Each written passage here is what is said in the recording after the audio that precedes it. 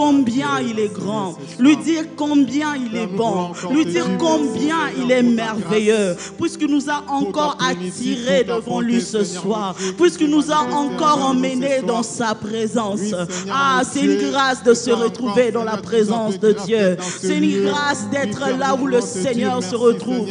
C'est une grâce de se tenir dans la présence de l'Éternel. C'est une grâce d'être là où le Seigneur est en train de régner. C'est une grâce de se retrouver dans la présence de Dieu. Ah, bien-aimé, lève encore ta voix. Bénis le nom de l'Éternel. Bénis le nom de l'Éternel. Alléluia. Oh Jésus, nous t'aimons, Seigneur. Merci, oh Dieu, pour ta fidélité.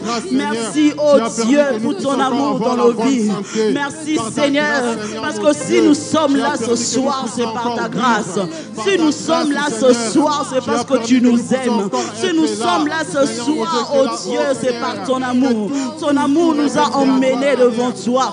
Ton amour nous a attirés dans ta présence. Ton amour nous a attirés devant ta face.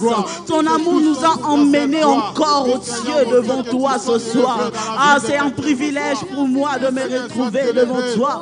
C'est un privilège pour moi d'être dans ta présence. C'est un privilège pour moi d'être devant le roi des rois. C'est un privilège pour moi d'être devant le Seigneur de Seigneurs. Ah, c'est un privilège pour moi d'être devant celui qui a vaincu la mort. C'est un privilège pour moi d'être dans la présence du Tout-Puissant. C'est un privilège pour moi d'être dans la présence du roi des rois. C'est un privilège pour moi d'être dans la présence de celui qui règne au-dessus de tout, de celui qui règne au-dessus de nos problèmes, de celui qui règne au-dessus de nos situations. Ah, c'est un privilège de se retrouver dans la présence de celui qui peut tout résoudre. C'est une grâce de se retrouver dans la présence de celui qui peut tout accorder, de celui qui peut tout nous donner, de celui qui peut nous donner au-delà même de ce que nous demandons.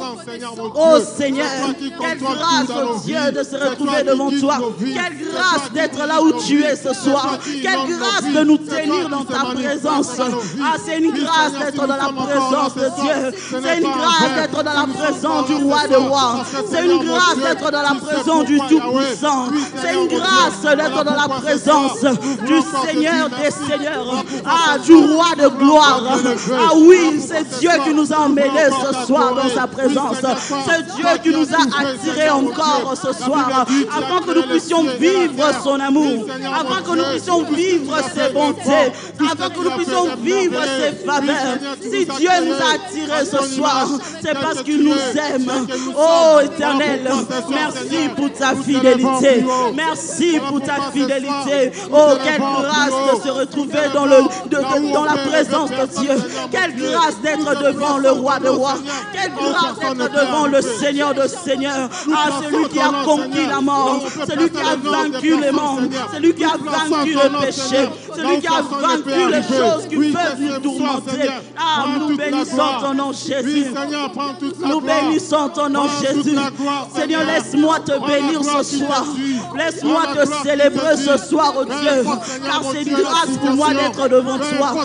C'est une grâce pour moi d'être devant le trône du Dieu Tout-Puissant. Ah, c'est une grâce pour moi de se retrouver dans la présence du roi de rois. C'est une grâce pour moi de se retrouver dans la présence du Tout-Puissant. Dans la présence du Seigneur, Seigneur. Quel privilège d'appartenir à un grand Dieu. Quel privilège d'appartenir à un grand Dieu. Quel privilège de faire confiance à un grand Dieu. Ah, nous ne sommes pas venus voir un président de la République. Nous ne sommes pas venus voir un homme. Nous ne sommes pas venus voir un roi, le roi de ce monde. Nous sommes venus rencontrer le Seigneur de Seigneurs. Nous sommes venus rencontrer le Dieu Tout-Puissant, ah, le Créateur de toutes choses. Ah, c'est celui que nous sommes venus rencontrer ce soir. Le Créateur de toutes choses. Le Créateur de toutes choses. Ah, c'est devant toi que nous sommes là. C'est devant le Créateur de l'univers que nous sommes là. C'est devant le Créateur du ciel et de la terre que nous sommes là. C'est devant le Créateur de l'univers entier. Ah, celui qui a créé créé le ciel et la terre. C'est lui qui a créé le zoo, la mer. C'est celui-là qui nous a invités dans sa présence. Oh Père, nous élevons ton nom, Jésus. Nous élevons ton nom, Jésus. Nous élevons ton nom, Jésus. Oh, laisse que ton nom soit encore élevé au milieu de nous ce soir. Oh, Jésus, trouve ta place encore au milieu de nous ce soir. Ta place encore au milieu de nous ce soir. Car c'est pour toi que nous sommes là. Ah, ce n'est pas pour un homme que nous sommes là.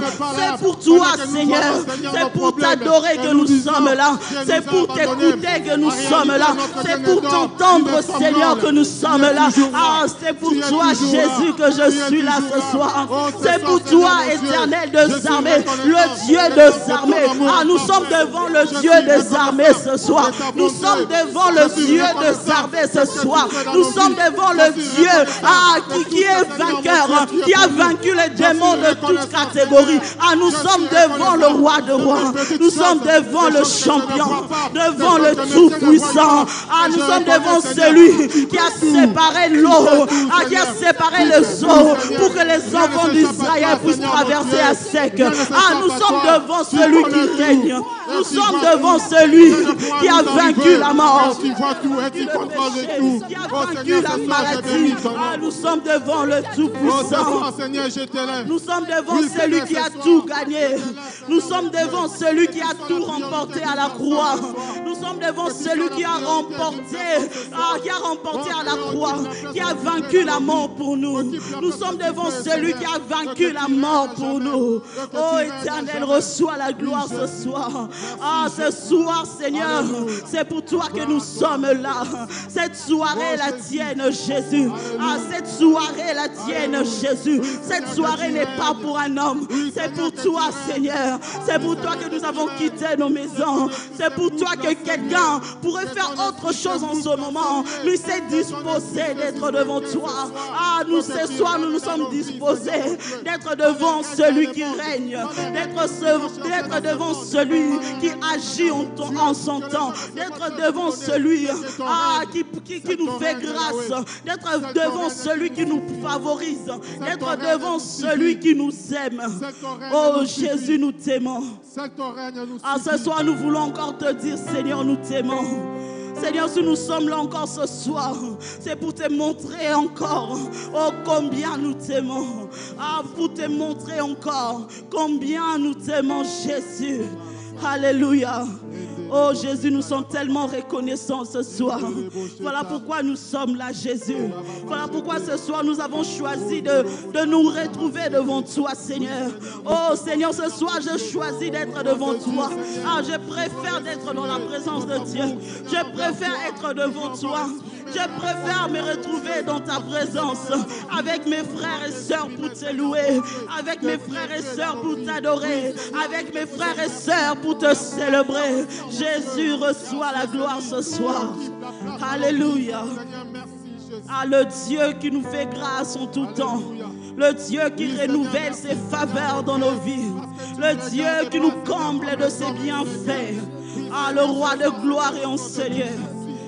Oh, le roi de gloire et en Seigneur. Merci Jésus pour ta fidélité. Alléluia. Alléluia. Alléluia, bien-aimés, nous, nous continuons à prier. Nous sommes venus chercher la face de Dieu. Je ne sais pas qu'en est-il de toi, mais moi je suis venu chercher la présence de Dieu. Alors que nous sommes là, depuis que nous avons commencé ces mois de jeûne et prière, nous sommes là en train de chercher la face de Dieu. Jour après jour, nous sommes dans la présence de Dieu, que ce soit en ligne ou en présentiel. Nous sommes en train de chercher Dieu. Mais nous voulons que tout ce temps que nous sommes en train de passer, ah, que, cela ne soit pas en vain. Voilà pourquoi nous allons dire au Seigneur ce soir, nous allons dire Seigneur, ne nous laisse pas quitter ce moment, ces mois de jeûne et, et de prière en restant le même personne. Ah, j'aimerais que ce soir que quelqu'un puisse désirer le changement dans sa vie. J'aimerais que ce soir que quelqu'un puisse désirer la transformation. Que nous puissions dire à Dieu, Seigneur, c'est pas en vain que nous avons mis tout un mois de côté pour chercher ta face. Nous voulons pas finir ce mois de janvier, commencer le mois de février en restant les mêmes personnes, en restant dans la même dimension. Ah non, nous voulons avancer avec le Seigneur. Nous voulons progresser avec Jésus. Bien-aimé, lève encore ta voix. Désire vivre le changement. Désire vivre la transformation. Désire être changé. Désire être transformé. Que ta vie ne reste pas la même. Après tout un mois de jeûne prière, ah, désire que ta vie ne reste plus jamais la même. Vie puisse être transformée. Que ta vie de prière puisse être transformée. Que ta vie de la méditation de la parole puisse être transformée. Que ta manière de servir Dieu puisse être transformée. Alléluia. Jésus, nous ne voulons pas rester, Seigneur, au même endroit. Oh, alors que nous sommes là jour après jour, en train de te chercher, en train de te louer, en train de t'adorer. Seigneur, nous refusons de rester le même personne. Nous refusons de rester à la même dimension. Nous refusons de rester au même endroit. Nous refusons de rester, Seigneur, au même stade. Oh, nous refusons, Seigneur, de faire le statu quo. Nous voulons avancer avec toi. Nous voulons progresser avec toi. Nous voulons, Seigneur, évoluer avec toi. Ah, voilà pourquoi nous sommes là ce soir. Ce soir, nous désirons la transformation. Ce soir, nous désirons le progrès. Ce soir, nous désirons la croissance. Nous ne voulons pas rester au même endroit. Nous ne voulons pas faire de surplace. Nous voulons avancer dans chaque domaine de notre vie. Progresser avec toi. Avancer avec toi. Évoluer avec toi. Dans ma vie de prière, Seigneur, je vais avancer. Dans ma vie de prière, Seigneur, je vais progresser. Ah, je refuse de rester à la même dimension. Je refuse d'opérer dans la même dimension. Je veux avancer, Seigneur. Dans ma vie de prière, je vais avancer. Ah, dans ma vie de méditation de ta parole. Dans ma manière de te servir. Dans mon intimité avec toi, oh Dieu. Je veux avancer. Je veux progresser. Je refuse de rester la même personne. Je refuse de garder le même comportement. Je refuse de garder le même caractère. Ah, je vais être transformé à la même image. Comme ta parole dit, lorsque nous te contemplons, nous sommes transformés à la même image. Oh Seigneur, c'est ce que nous voulons vivre. C'est ce que nous voulons expérimenter. Alors que nous sommes en train de te chercher, nous voulons expérimenter ce changement. Alors que nous sommes en train de te désirer, nous voulons, Père éternel, expérimenter cette transformation. Nous voulons expérimenter cette transformation. Oh Seigneur, si encore en nous des choses que nous donnons pas, viens Seigneur les enlever. Si il y a encore en nous des choses qui ne te plaisent pas, viens les enlever. Viens nous briser. S'il faut que tu nous brises encore, fais-le Seigneur. Mais nous refusons de rester les mêmes personnes. S'il faut que tu nous brises encore, fais-le Seigneur. Mais nous refusons de rester au même endroit. Faut que tu nous brises encore, fais-le Seigneur. Mais nous refusons d'être au même endroit, dans la même dimension. Que, nous puissions rester, Seigneur, au même endroit, Jésus. Oh, nous voulons avancer. En cette année 2022, Jésus, nous voulons avancer. Nous voulons avancer avec toi. Nous voulons évoluer avec toi dans chaque domaine de nos vies. Seigneur, ne nous laisse pas rester la même personne. Toi-même, tu le dis dans ta parole. Nul ne vient à toi et reste le même. Nul ne s'approche de toi et reste la même. Nul ne s'approche de toi et reste le même. Oh, je vais être changé. Je vais être transformé. Oui, peut-être je vais garder la même image. Peut-être que je vais garder le même visage. Mais je veux que mon intérieur change. Je veux que ma vie de prière change. Je veux que Dieu, que ma manière de voir les choses, ma manière de te servir, mon intimité avec toi puisse être changée, puisse être transformée, puisse croître Jésus. Ah, je veux le changement dans ma vie de prière. Je veux la croissance spirituelle. Je refuse de rester au même endroit. Je refuse, Jésus, que les démons viennent toujours me déranger la nuit. Ah, c'est fini. C'est fini, Jésus. Ah, il est temps que je puisse avancer. Il est temps que je puisse progresser. Il est temps, Seigneur. Il est temps que j'avance, Jésus, dans chaque domaine de ma vie, dans chaque aspect de ma vie, dans chaque dimension, Père. Fais-nous avancer ce soir, oh Dieu. Alors que nous sommes là encore dans ta présence. Alors que nous sommes là encore dans ta présence, oh Dieu. Ah, fais-nous avancer, Jésus. Fais-nous avancer, Jésus. Alléluia. Oh Seigneur, nous voulons avancer. En cette année de gloire, nous ne voulons pas rester la même personne. En cette année de gloire, nous refusons de faire du surplace. Nous refusons, Seigneur, que nos vies de prière restent à la même dimension, Jésus. Il est temps que nous puissions avancer. Oh, fais-nous avancer quelqu'un. Fais avancer une famille ce soir.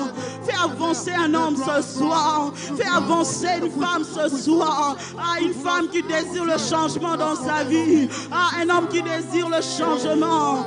Fais-le, Seigneur. Oh, fais-le Jésus. Accomplis encore cette œuvre de la transformation dans nos vies. Nous le désirons, éternel. Nous le désirons, Jésus. Alléluia. Merci Jésus pour le changement. Merci Jésus. Alléluia. Hmm. Bien-aimé, je vais lire un passage de la Bible. J'aime ce que la Bible dit dans Philippiens 4, le verset 6. Je vais lire pour nous, la Bible dit, c'est l'apôtre Paul qui parle aux Philippiens, il dit ceci, ne vous inquiétez de rien, mais en toute chose, faites connaître vos besoins à Dieu par de prières et de supplications, avec des actions de grâce. Faites connaître vos besoins à Dieu par de prières et de supplications. Ah, bien-aimés, nous sommes là peut-être tous ensemble ce soir, mais chacun de nous a un besoin particulier. Tu es peut-être venu avec ton frère, avec ta soeur, avec ton ami, mais à l'intérieur de toi, tu sais de quoi tu as besoin. À l'intérieur de toi, tu sais ce que tu attends pour cette année 2022. Ah, nous allons faire ce que l'apôtre Paul a dit aux Philippiens, faire des prières de supplication. Qu'est-ce que tu veux voir dans ta vie cette année?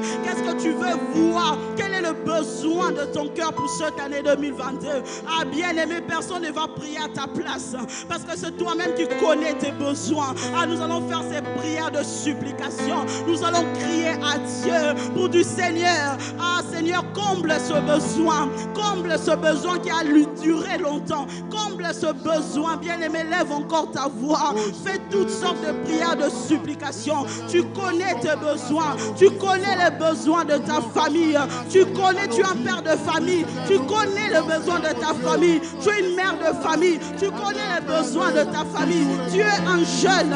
Tu connais tes besoins. Ah, tu es une jeune femme, un jeune homme. Tu connais tes besoins. Élève ta voix. Du Seigneur, je veux voir. Je veux te voir agir dans ma vie. Dans tel besoin. Dans tel domaine de ma vie. Dans tel problème. Je veux te voir en l'œuvre. Je veux voir ta gloire dans dimension, dans cette difficulté. Bien-aimé, fais cette prière de supplication ce soir. Parce que l'éternel est en Seigneur. Il est là pour écouter encore nos prières. Jésus est là pour entendre nos cris. Jésus est là pour entendre les cris de son peuple. Oh, Charabasete. Jésus, un homme crie à toi ce soir. Une femme crie à toi, Jésus en cette année 2022. Seigneur, alors que nous sommes encore au début de l'année, nous venons te présenter nos besoins. Nous venons, Seigneur, avec oh, la soif de te voir en l'œuvre cette année. Nous venons, Jésus, avec la soif de t'expérimenter cette année. Alors que nous venons te présenter nos problèmes, alors que nous venons te présenter nos besoins. Jésus, nous nous attendons à toi. Jésus, nous nous attendons à toi. Seigneur, nous ne sommes pas venus présenter nos besoins devant un homme. Ah, ce n'est pas devant le président que nous venons présenter nos besoins ce soir, mais c'est devant toi, parce que nous sommes conscients que tu es celui qui répond aux prières. C'est parce que nous sommes conscients que tu es celui qui répond aux supplications. C'est parce que nous sommes conscients que tu es celui qui répond aux cris de, de ton peuple. Tu réponds aux supplications de tes enfants. Tu réponds aux cris de tes enfants. Oh, voilà pourquoi nous venons, Seigneur, te présenter ces problèmes, te présenter ces besoins. Parce que tu es le Dieu qui agit. Tu es le Dieu qui agit. Tu es le Dieu qui surpasse notre intelligence. Voilà pourquoi nous sommes là. Pour te présenter nos besoins. Pour te présenter nos besoins. Pour te dire que Seigneur, nous ne comptons que sur toi. Pour te dire Seigneur, pour ces problèmes, je ne compte que sur toi. Pour ces difficultés, je ne compte que sur toi. Pour ce Seigneur, je ne compte que sur toi. Pour ma famille, oh Dieu, en cette année 2022, je ne compte que sur toi. Oh Jésus, en cette année 2022, éternel, nous nous attendons à toi, Seigneur. Pour nos besoins, nous nous attendons à toi. Pour nos problèmes, nous nous attendons à toi. Pour nos vies, oh Dieu de gloire. Pour nos projets, éternel. Ah, nous nous attendons à toi. Voilà pourquoi nous venons te présenter nos besoins. Ah, comme ta parole le dit. Ah, présenter vos besoins à Dieu. Ah, bien-aimé, présente tes besoins à Dieu. Le Seigneur te donne la liberté ce soir de lui présenter tes besoins. Qu'est-ce que tu veux que Dieu fasse pour toi? Qu'est-ce que tu veux, jeune homme, jeune fille? Qu'est-ce que tu veux que l'Éternel puisse faire pour toi en cette année 2022 Jeune femme, qu'est-ce que tu veux que l'Éternel fasse pour toi? Jeune homme, qu'est-ce que tu veux que l'Éternel fasse pour toi? Église, parole du salut, qu'est-ce que tu veux que l'Éternel fasse pour toi? Oh Jésus, nous venons devant toi. Nous venons devant toi avec soif de vivre ta gloire, avec la soif d'expérimenter ta gloire dans nos besoins. Nous voulons expérimenter ta gloire dans nos besoins. Ah, en cette année 2022, je veux expérimenter ta gloire dans mes besoins. Ah, dans mes besoins financiers, je veux expérimenter ta gloire dans mes besoins professionnels.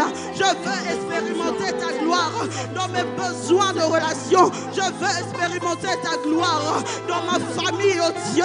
Je veux expérimenter ta gloire dans mes projets d'études, dans mes projets de ministère, dans mes projets, Jésus. Je veux expérimenter ta gloire. Viens agir, oh Dieu. Viens agir, Seigneur. Viens agir ce soir. Nous nous attendons à toi. Nous nous attendons à toi. Oh Yeshua. Yeshua, nous nous attendons à toi. Yeshua, nous nous attendons à toi. Yeshua, nous nous attendons à toi. Viens écouter les cris de ton peuple. Viens écouter, entends le cri de ton enfant. Ah, un enfant qui crie encore à toi pour ses études. Un enfant qui te présente ses études ce soir. Un enfant qui te présente ses études ce soir. Un enfant qui te présente sa famille ce soir. Un enfant qui te présente son problème de santé ce soir. Oh, viens agir. Viens intervenir dans nos besoins financiers, dans nos besoins de santé, dans nos besoins besoin de famille.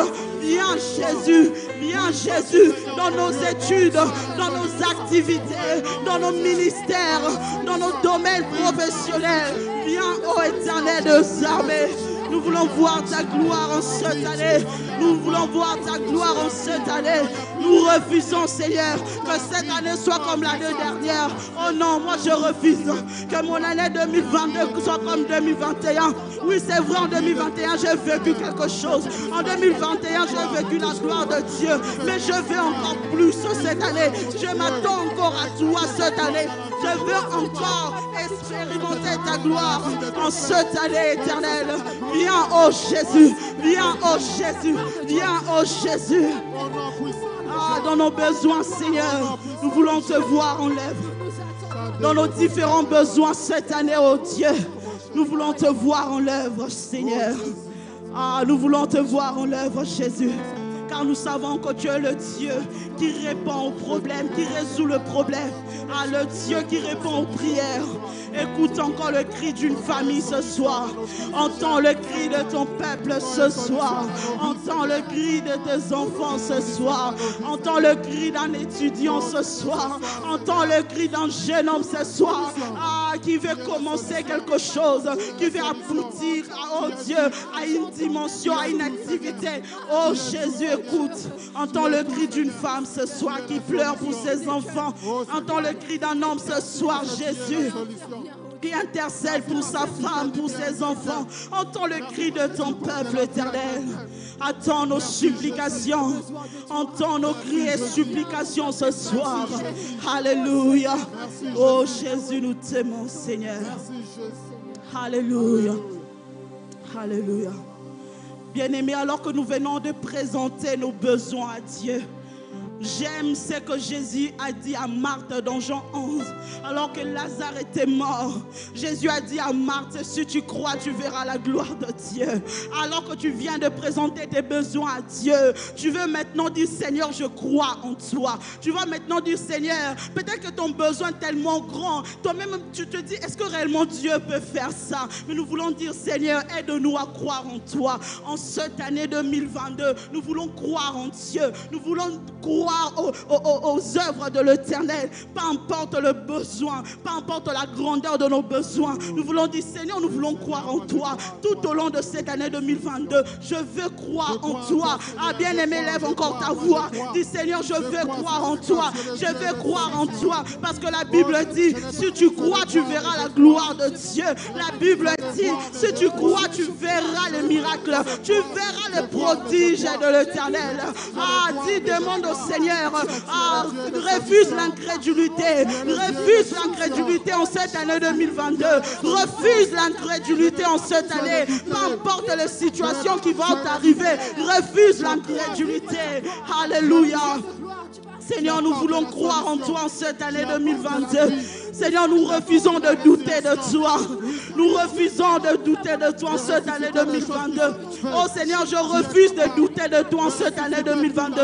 Je refuse de sombrer, Seigneur, dans la dans l'incrédulité cette année. Je refuse de sombrer dans la distraction cette année. Je veux croire en toi. Peu importe, Seigneur, ce qui pourra m'entourer tout au long de cette année. Peu importe ce qui m'entoure déjà en cet instant, ce moment. Je veux espérer en toi. Je veux croire en toi. Je veux rester attaché à toi malgré les tempêtes, malgré les temps, les situations, les circonstances. Je veux continuer de croire. Je veux continuer de croire. Je refuse de, de, sombrer dans l'incrédulité. Peu importe les situations, je refuse de sombrer dans l'incrédulité.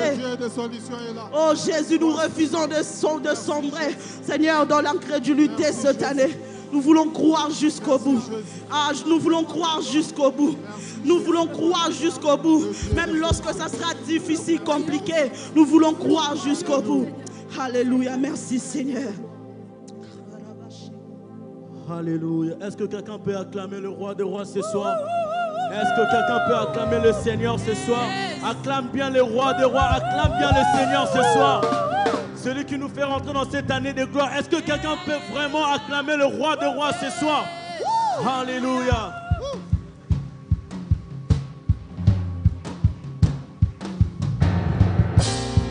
Nous sommes là ce soir pour t'adorer Adonai. Nous sommes là ce soir pour te louer Adonai. Toi le de toutes choses. Toi qui réponds lorsque nous t'appelons. Nous sommes venus ce soir pour toi Adonai. Oh le Dieu de gloire, créateur de toutes choses. Alléluia. On y va. Tous les anges, tous les anges. Tous les anges ensemble chantent.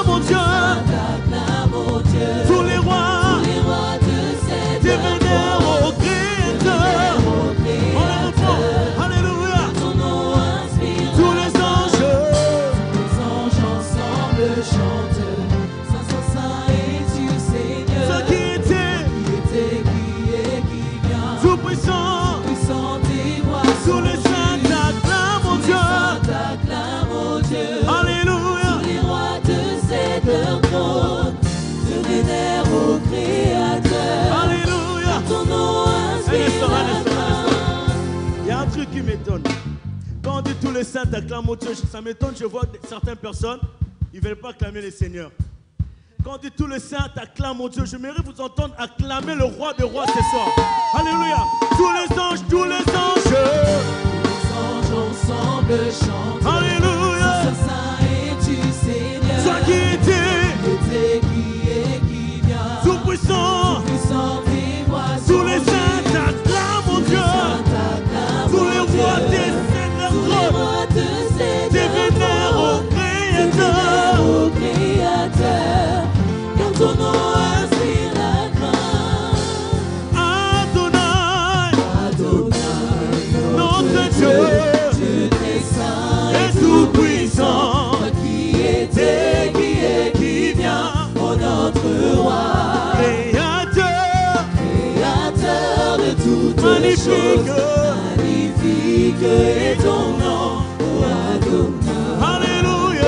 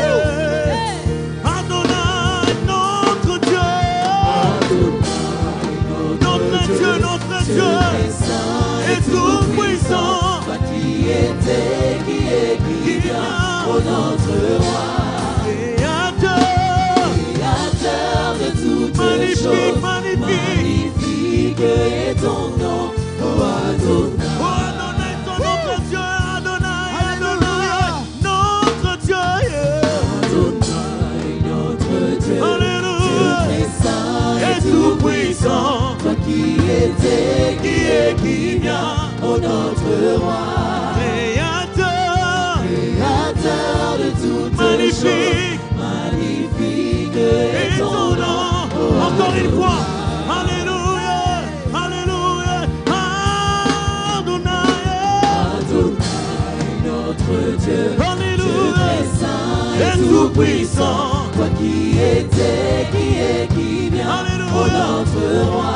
Créateur, créateur de toutes magnifique, choses, magnifique, magnifique est ton nom, oh Adonai. Oh Adonai. Oh Adonai. Oh Adonai. Oh Adonai. Oh Adonai. Oh Adonai.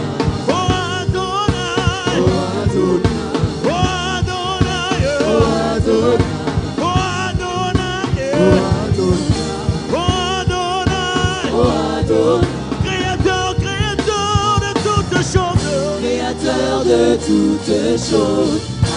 Adonai. Tu réponds quand je t'appelle. Quand, quand je t'appelle. Adonai. Créateur, créateur de toutes choses. Créateur de toutes choses. Adonai. Tu réponds quand je t'appelle. Quand, quand je t'appelle. Créateur, créateur, créateur, créateur de toutes choses. Créateur de toutes choses. Adonai.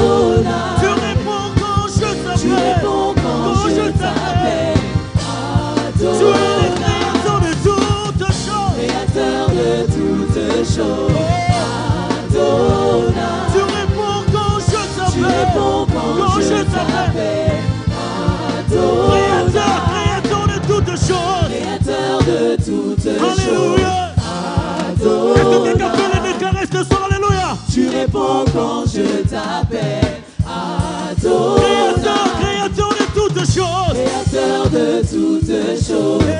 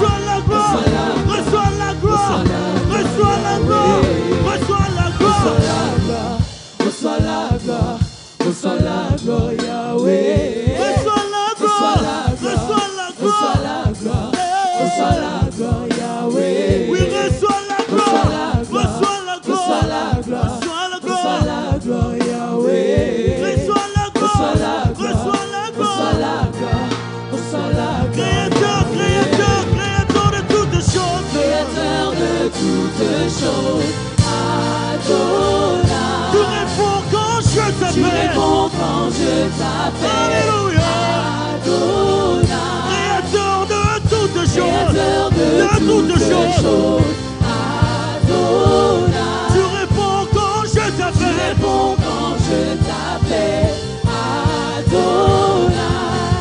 Kabo, Shekina, nous voulons voir ta gloire. Kabo, Shekina, nous voulons voir, Kabo, Kabo, Kabo, Shekina, nous voulons voir. oh,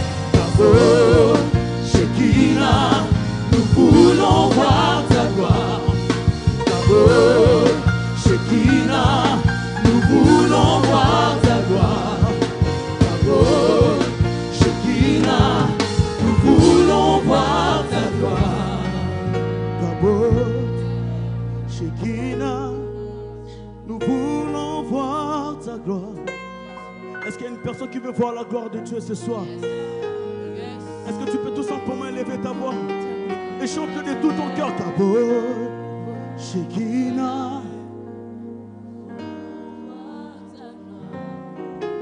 Kabod, Shekinah. Ce soir.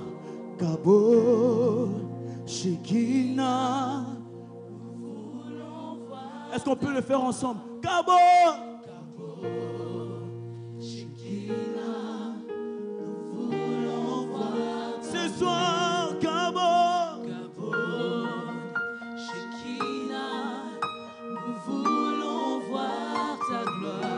Quelqu'un peut tout simplement élever sa voix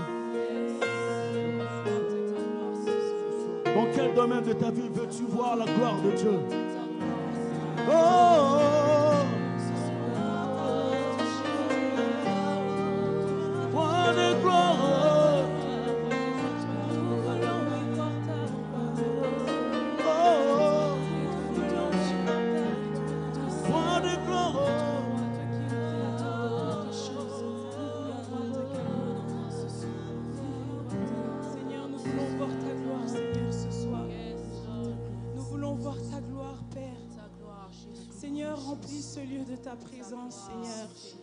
Sature ce lieu de ta présence, Père. Est-ce qu'une personne veut voir la gloire de Dieu ce soir? Est-ce qu'une personne veut voir la gloire de Dieu ce soir?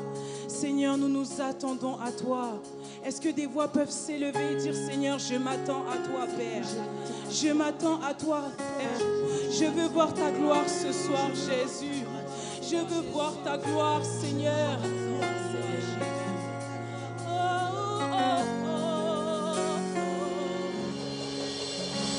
Le monde prosterné dira tu es Dieu.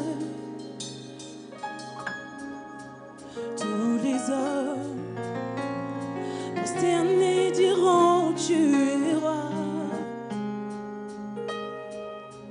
Commençons maintenant.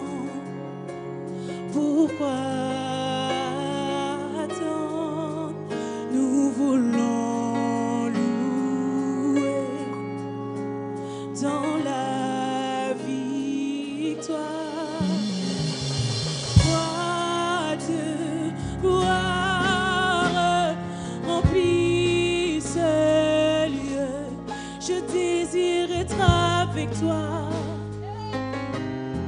je désirais être avec toi. Roi de gloire, remplis ce lieu, je désire être avec toi. Je désire être avec toi.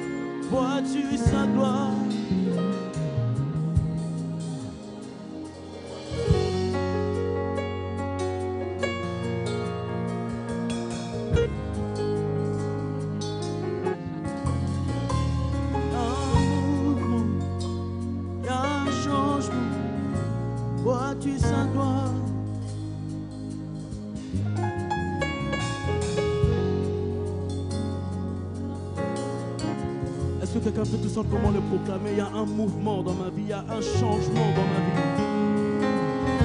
Il y a un changement dans ma vie. Dans la présence de Dieu, toutes choses changent. Il y a un changement dans ma vie.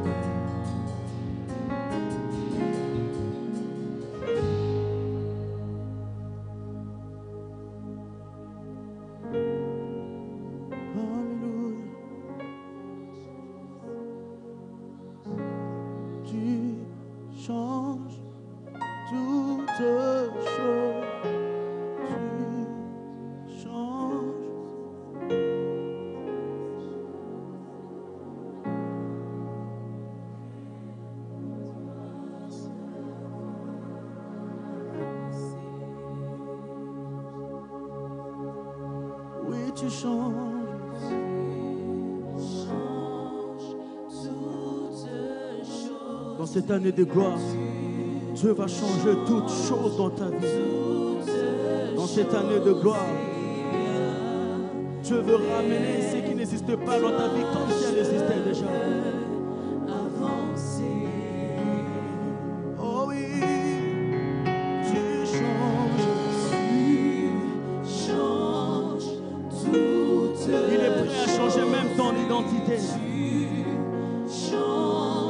Les gens te connaissent avec l'identité de chômeur, mais Dieu aujourd'hui, il est prêt à les changer pour toi. Les gens te connaissent avec l'identité d'une femme stérile, mais Dieu aujourd'hui veut changer cette identité. Alléluia. Oh oui, tu changes. Change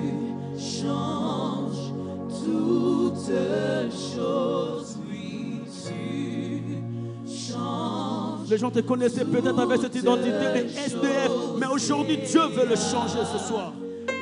Dieu veut changer cette identité ce soir. Dieu veut changer ces choses ce soir.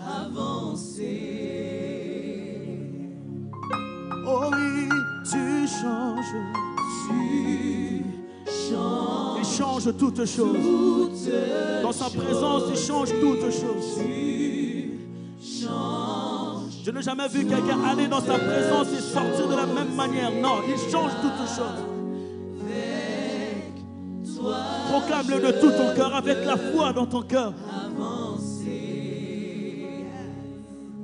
Oh oui, tu changes. Dans cette année de gloire, il change toutes choses. Dans cette année de gloire, Dieu change toutes choses. Il change toutes choses dans cette année de gloire.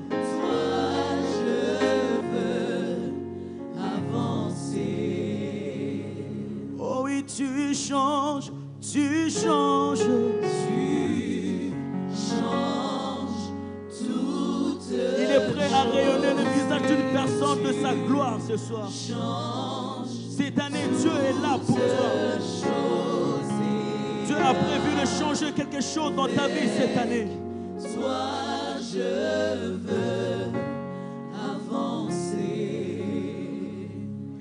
Tu changes, tu changes.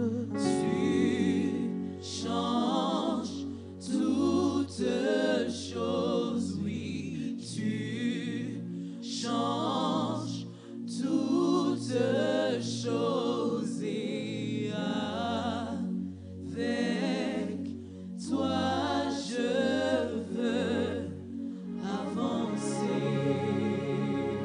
peut les chanter ensemble? Oh oui, tu changes.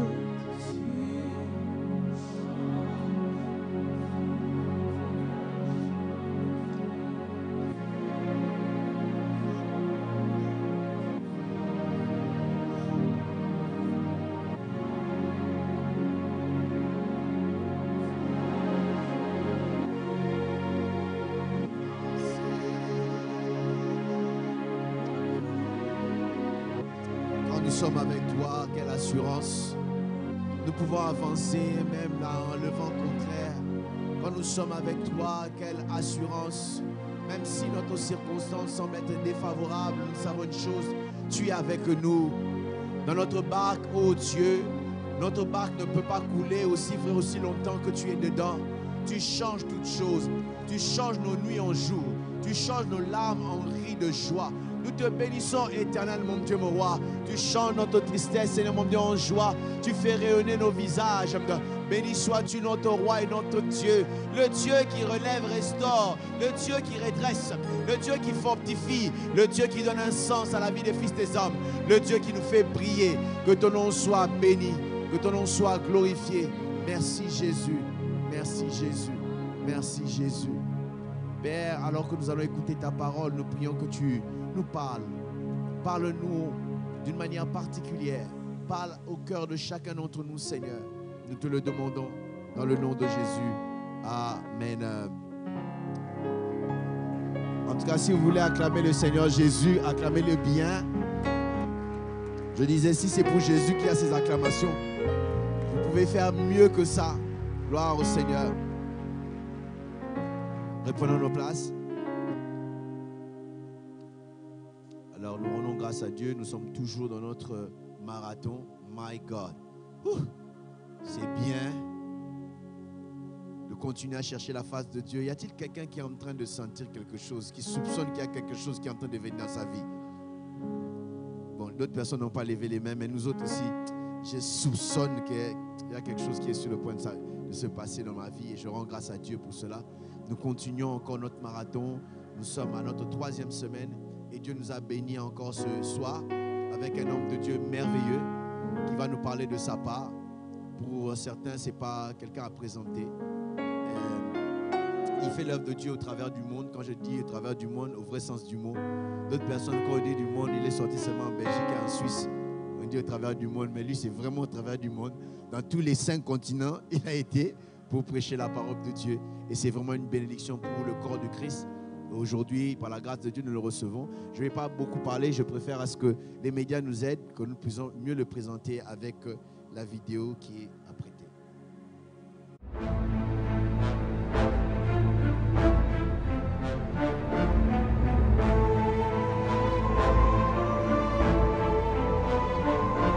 Pasteur Douglas Kionjeka. Pasteur et prédicateur de l'Évangile, Douglas Kionjeka est également le fondateur des églises centre évangélique La Puissance de la Résurrection, implantées dans le monde. Appelé au ministère évangélique depuis 2000, il a effectué un cursus biblique à Paris et a poursuivi ses études au Mount Olive Institute and Seminary aux États-Unis, où il obtient une licence en théologie systématique et un master en leadership. C'est après une visitation divine que le Seigneur lui confie la mission de prêcher la puissance de la croix et la résurrection de Jésus. Auteur de plusieurs livres dont La puissance de la croix de Jésus et La séduction dans les églises, il est également pianiste, coach de vie et entrepreneur. Adorateur passionné de Christ, son désir ardent est d'expérimenter la présence, la puissance et la gloire de Dieu. Il est marié à Lydie Kionjeka, avec qui il œuvre dans le ministère et ont ensemble quatre enfants. Mesdames et messieurs, veuillez accueillir le pasteur Douglas Kionjeka.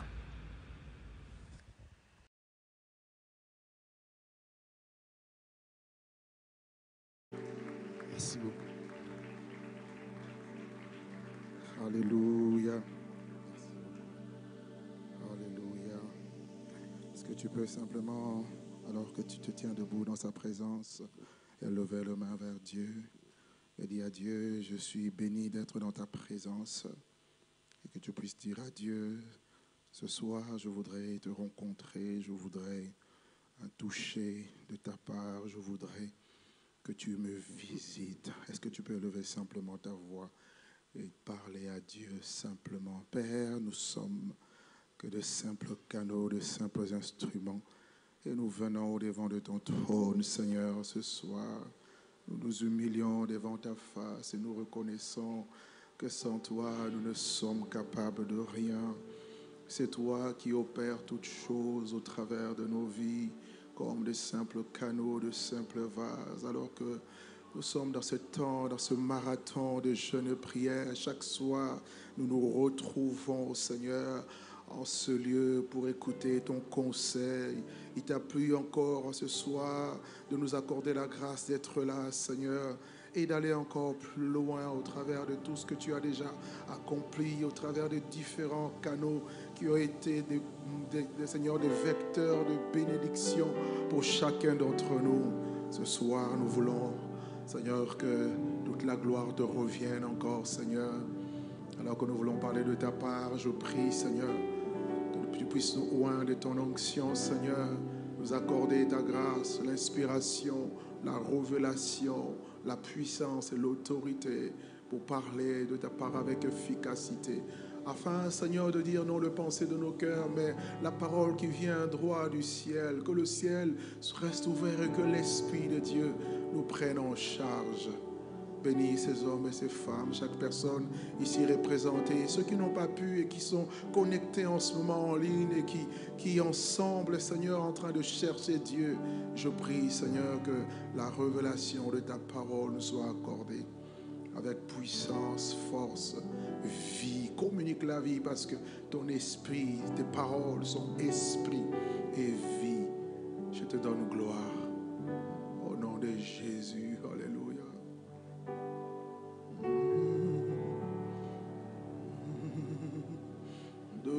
gloire en gloire, de gloire en gloire, tu m'emmènes, tu m'emmènes, oh, dans les profondes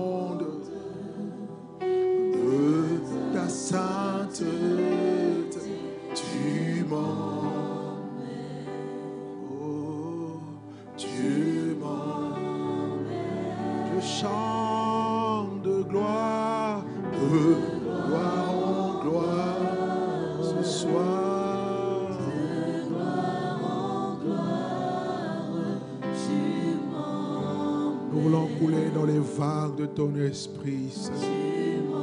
Tu es un flot, appelle un flot. Nous voulons, Seigneur, dans ce dynamisme, dynamisme dynamique de ton esprit, que tu nous emmènes là où tu nous attends, là où tu nous veux pour aujourd'hui.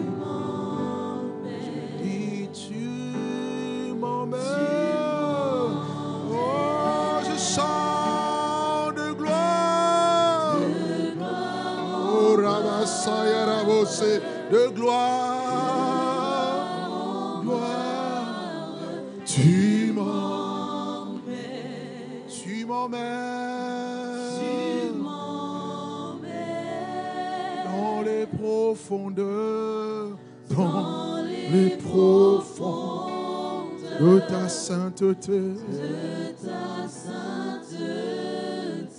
Tu m'emmènes, tu m'emmènes.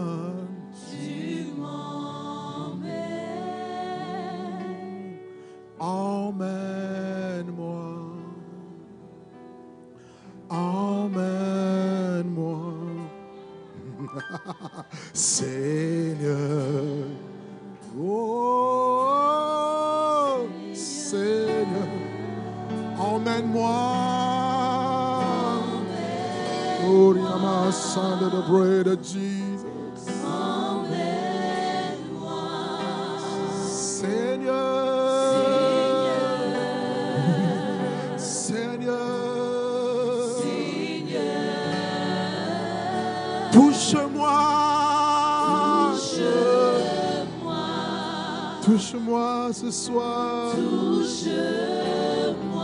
Par le Saint-Esprit. With the glory, not in my son to the bread. Oh, parle-moi.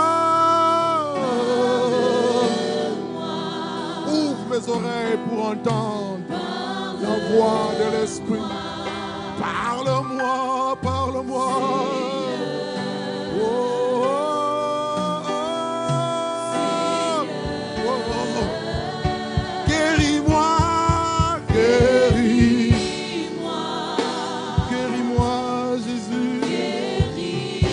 Suis malade, j'ai besoin d'être guéri. Je suis couché par terre, j'ai besoin d'être relevé. Oh, je suis dans l'ombre, j'ai besoin de ta lumière, de la lumière de ta gloire. Oh, viens éclairer mon âme, mon esprit. Car c'est toi qui as dit, lève-toi et sois éclairé, car ta lumière arrive ce soir, ce soir. Oh,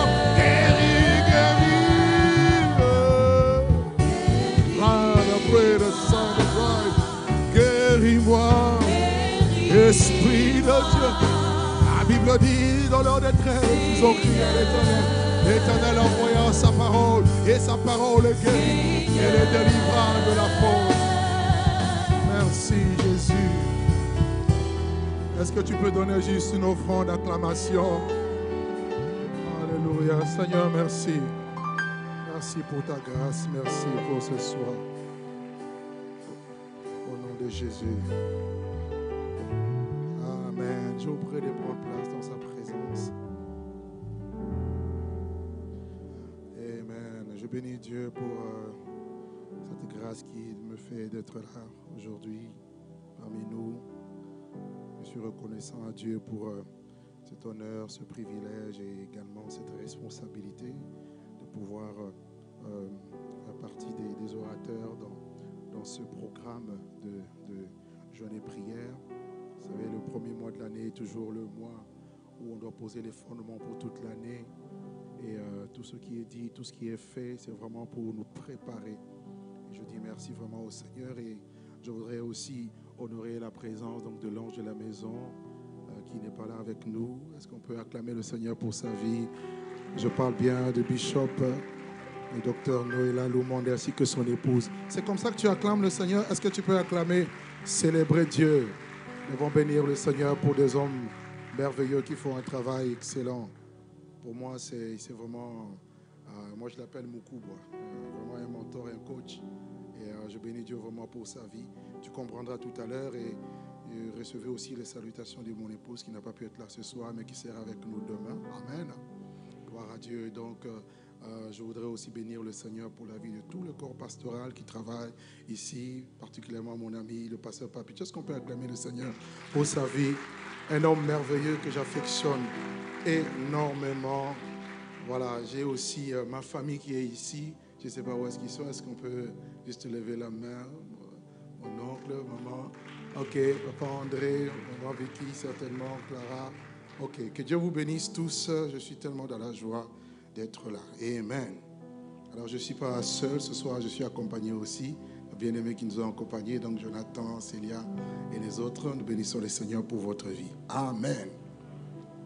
Alors, juste avant d'entrer dans le vif du message, j'ai ramené avec moi euh, le- les trois derniers ouvrages que le Seigneur m'a permis d'écrire. Le tout dernier, intitulé Jésus-Christ, le mystère de Dieu. Ok, vous pouvez donc vous approprier juste après le programme, juste là, la table à littérature. Vous avez brisé le lien spirituel, qui est là, et puis le livre sur euh, donc la séduction spirituelle. Amen. Voilà, donc euh, les, euh, les- ces, ces- livres que j'ai j'ai emmenés pour moi, il n'y a, pas beaucoup d'exemplaires, mais je sais en même temps que nous sommes dans un grand projet de, de bâtir ce temple. Alors, votre participation, ça sera, ça sera aussi une contribution pour le BT. Amen. Oh, c'est comme ça que tu acclames Dieu. Acclame mieux que ça. Gloire à Dieu.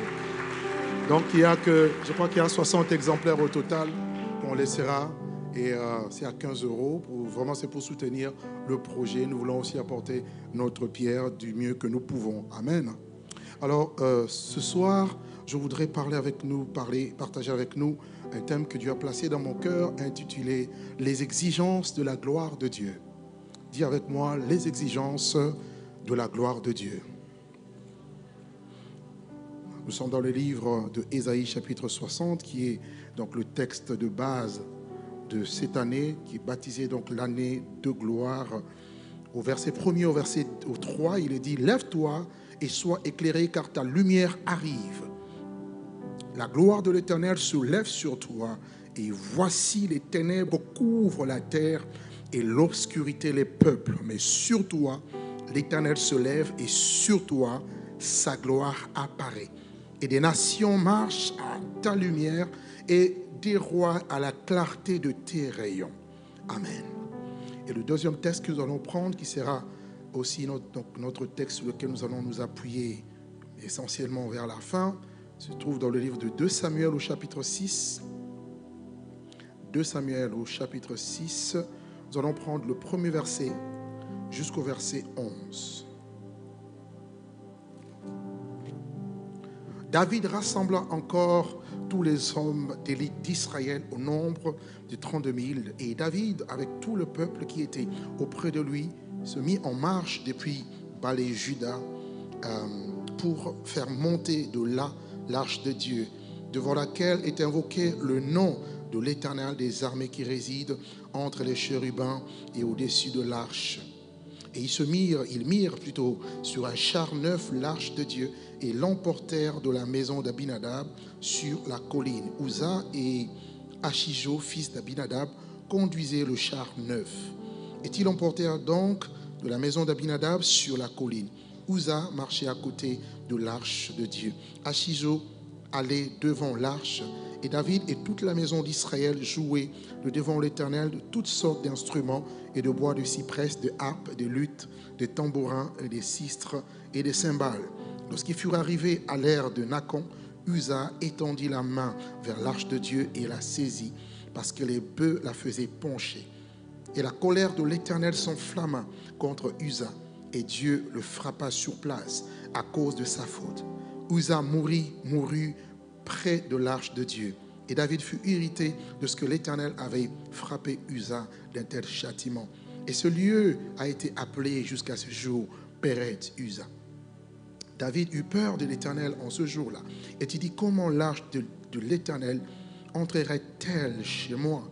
Il ne voulut pas retirer l'arche de l'Éternel chez lui dans la cité de David. Et il la fit conduire dans la maison d'Obédédom des Gad. Et l'arche de l'Éternel resta trois mois dans la maison d'Obédédom des Gad. Et l'Éternel bénit Obédédom et toute sa maison. Amen. Les exigences de la gloire de Dieu. Je me suis demandé, mais pourquoi, Seigneur, tu veux que je puisse apporter euh, ce message? J'ai essayé un peu de brosser rapidement euh, euh, les enseignements, le message que les uns les autres ont apporté. Et, et ce message va vraiment nous aider à nous équilibrer par rapport à la compréhension de ce que la Bible appelle même la gloire de Dieu.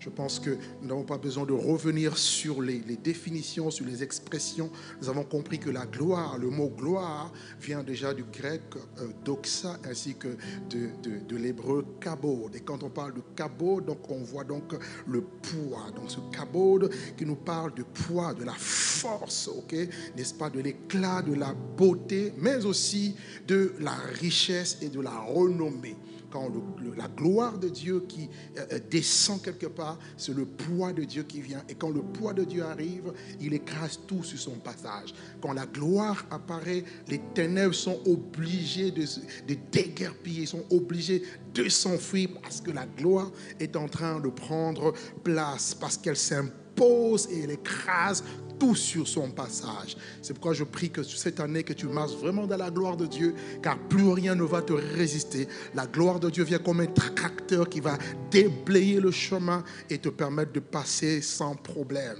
Et quand on parle de doxa, on voit donc l'éclat. Que cette année soit une année où tu vas vivre l'éclat de Dieu, la splendeur et la magnificence. J'aime cela parce que nous avons été créés ah, pour refléter la gloire de Dieu. Ah, J'aime ce psaume qui dit Qui est l'homme pour que tu te souviennes de lui et le Fils de l'homme, que, tu prennes garde à lui. Tu l'as fait de peu inférieur à Dieu, inférieur aux anges, et tu l'as couronné de gloire et de magnificence. Nous devons revenir à l'état initial pour que la gloire devienne notre couronnement dans tout ce que nous faisons. Et cette cour, ce couronnement va amener le rayonnement. Tu vas commencer à irradier ta présence parce que la gloire est en toi. Ta présence devient aussi, aussi la gloire parce que là où tu es va rayonner la gloire de Dieu. Et ça sera ta vie au nom de Jésus. Amen. Ça sera ton partage au nom de Jésus. Tu vas vivre également l'excellence. Tout ce que tu dois faire doit être bon, parfait, excellent. Amen. Donc la gloire, c'est ce qui caractérise Dieu. La gloire, c'est ce qui est de la nature même de Dieu. C'est son essence. Dieu est un Dieu de gloire. Il n'a pas la gloire, mais il est la gloire. C'est pourquoi il peut partager sa gloire. Il ne donne pas sa gloire à un homme, ni son honneur aux idoles, mais il peut partager sa gloire avec ses créatures qui sont les hommes. Amen. Alléluia. Donc la gloire émane de sa personne. Par contre, cette gloire, en méditant le texte, j'ai compris qu'elle ne peut pas être vue, elle ne peut pas être observée dans toute sa splendeur. La gloire de Dieu, vous ne pouvez pas la voir pleinement. C'est pas possible. Voilà pourquoi on nous parle des aspects de sa gloire. La gloire ne peut pas se manifester pleinement. Comment un Dieu qu'on appelle un Dieu transcendant, c'est-à-dire qui est au-dessus, au-delà de tout, infini, et tu peux voir sa gloire, toi, dans ta dimension de petitesse, c'est impossible. Voilà pourquoi personne n'a vu Dieu, n'a vu l'aspect de cette gloire pleinement. Mais ce qu'on peut voir, ce qu'on peut constater, c'est ce que la Bible appelle les aspects de sa gloire. Alléluia. Dans le livre de Exode chapitre 33, versets 12 à 18, que nous connaissons, Moïse, qui était un homme qui avait rencontré Dieu là, sur la montagne. Rappelez-vous de l'expérience qu'il va connaître, le buisson qui était tout en feu. Le buisson ne se consumait pas. Lui qui était un intellectuel, un homme très curieux, il dit, je veux me détourner pour voir quelle est cette grande vision. Pourquoi le buisson est en feu, le buisson ne se consume pas. Ce que Moïse a vu, c'était un aspect de la gloire de Dieu. Et pendant qu'il s'approche, il ne voit pas depuis le buisson. Il dit, Moïse, retire tes souliers sous tes pieds, car le lieu sur lequel tu te tiens est un lieu saint. Il a vu la gloire, il a entendu la voix de Dieu, il a eu un échange avec Dieu qu'il a envoyé pour la grande mission. Et il dira, je suis celui qui s'appelle, je suis qui t'envoie. Il avait vu la gloire de Dieu. Mais parce qu'il avait vu un aspect, cela n'est pas suffisant. Voilà pourquoi on ne peut pas se satisfaire des aspects de la gloire de Dieu. Voilà pourquoi on a besoin d'aller de gloire en gloire. Parce que ce que j'ai vu hier n'est pas suffisant. J'ai encore besoin d'une autre dimension. J'ai encore besoin d'aller plus loin. Parce que la plénitude, ce n'est qu'en Dieu. Mais il ne peut pas me donner sa plénitude. Il dit à Dieu, si j'ai trouvé grâce à tes yeux, fais-moi voir ta gloire. Mais je ne comprends pas la réponse de Dieu. Dieu lui dit, non, tu ne peux pas me voir et vivre. Et Dieu lui dit, je te mettrai sur le creux du rocher. Et là, je passerai par derrière Et quand je passerai, tu ne verras pas ma face, mais tu me verras par derrière. Bien aimé, un seul homme, un homme exceptionnel, Moïse, un homme unique, qui a eu la grâce de voir simplement le dos de Dieu. Lui, il a vu le dos, mais personne n'a vu sa face.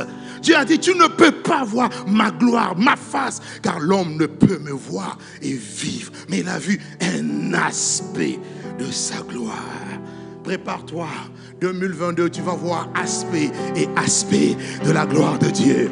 Et je suis convaincu que depuis ce programme a commencé, tu as déjà commencé à comprendre, tu as commencé déjà à voir les différents aspects de la gloire de Dieu. Et aujourd'hui, tu vas en voir d'autres.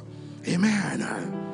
Parce que la gloire de Dieu, nous ne pouvons la voir qu'au travers d'un miroir, de manière obscure, parce que nous sommes encore loin de Dieu. Ce n'est pas possible de le voir tel qu'il est. Il n'est pas perspective. Cette gloire n'est pas perspective avec nos yeux. Ce n'est pas possible. Mais par contre, les aspects, oui. Et je prie que Dieu puisse nous emmener dans d'autres dimensions de gloire. Et tu comprendras vers la fin pourquoi je commence comme ça et où est-ce qu'on veut arriver. Quels sont les aspects de sa gloire J'en ai noté trois pour ce soir. Premier aspect, nous pouvons le voir dans le livre d'Exode, chapitre 24, le verset 17.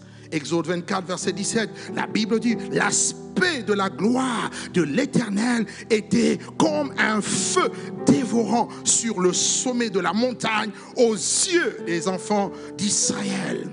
Quand on parle de l'aspect, on parle de la manière dont quelqu'un ou quelque chose se présente à vos yeux. L'aspect de la gloire, ce qui se présente à mes yeux, ce qui me frappe. C'est ça l'aspect.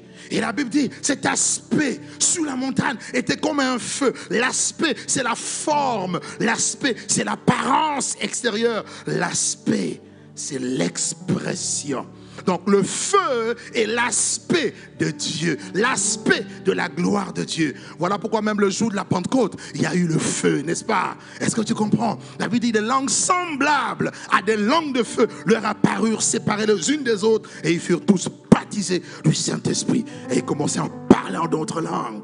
C'était la gloire. Et pour notre information, l'Église est née dans la gloire. L'Église sera aussi enlevée dans la gloire. Parce qu'il vient chercher une Église glorieuse, pas une Église privée ou dépourvue de la gloire.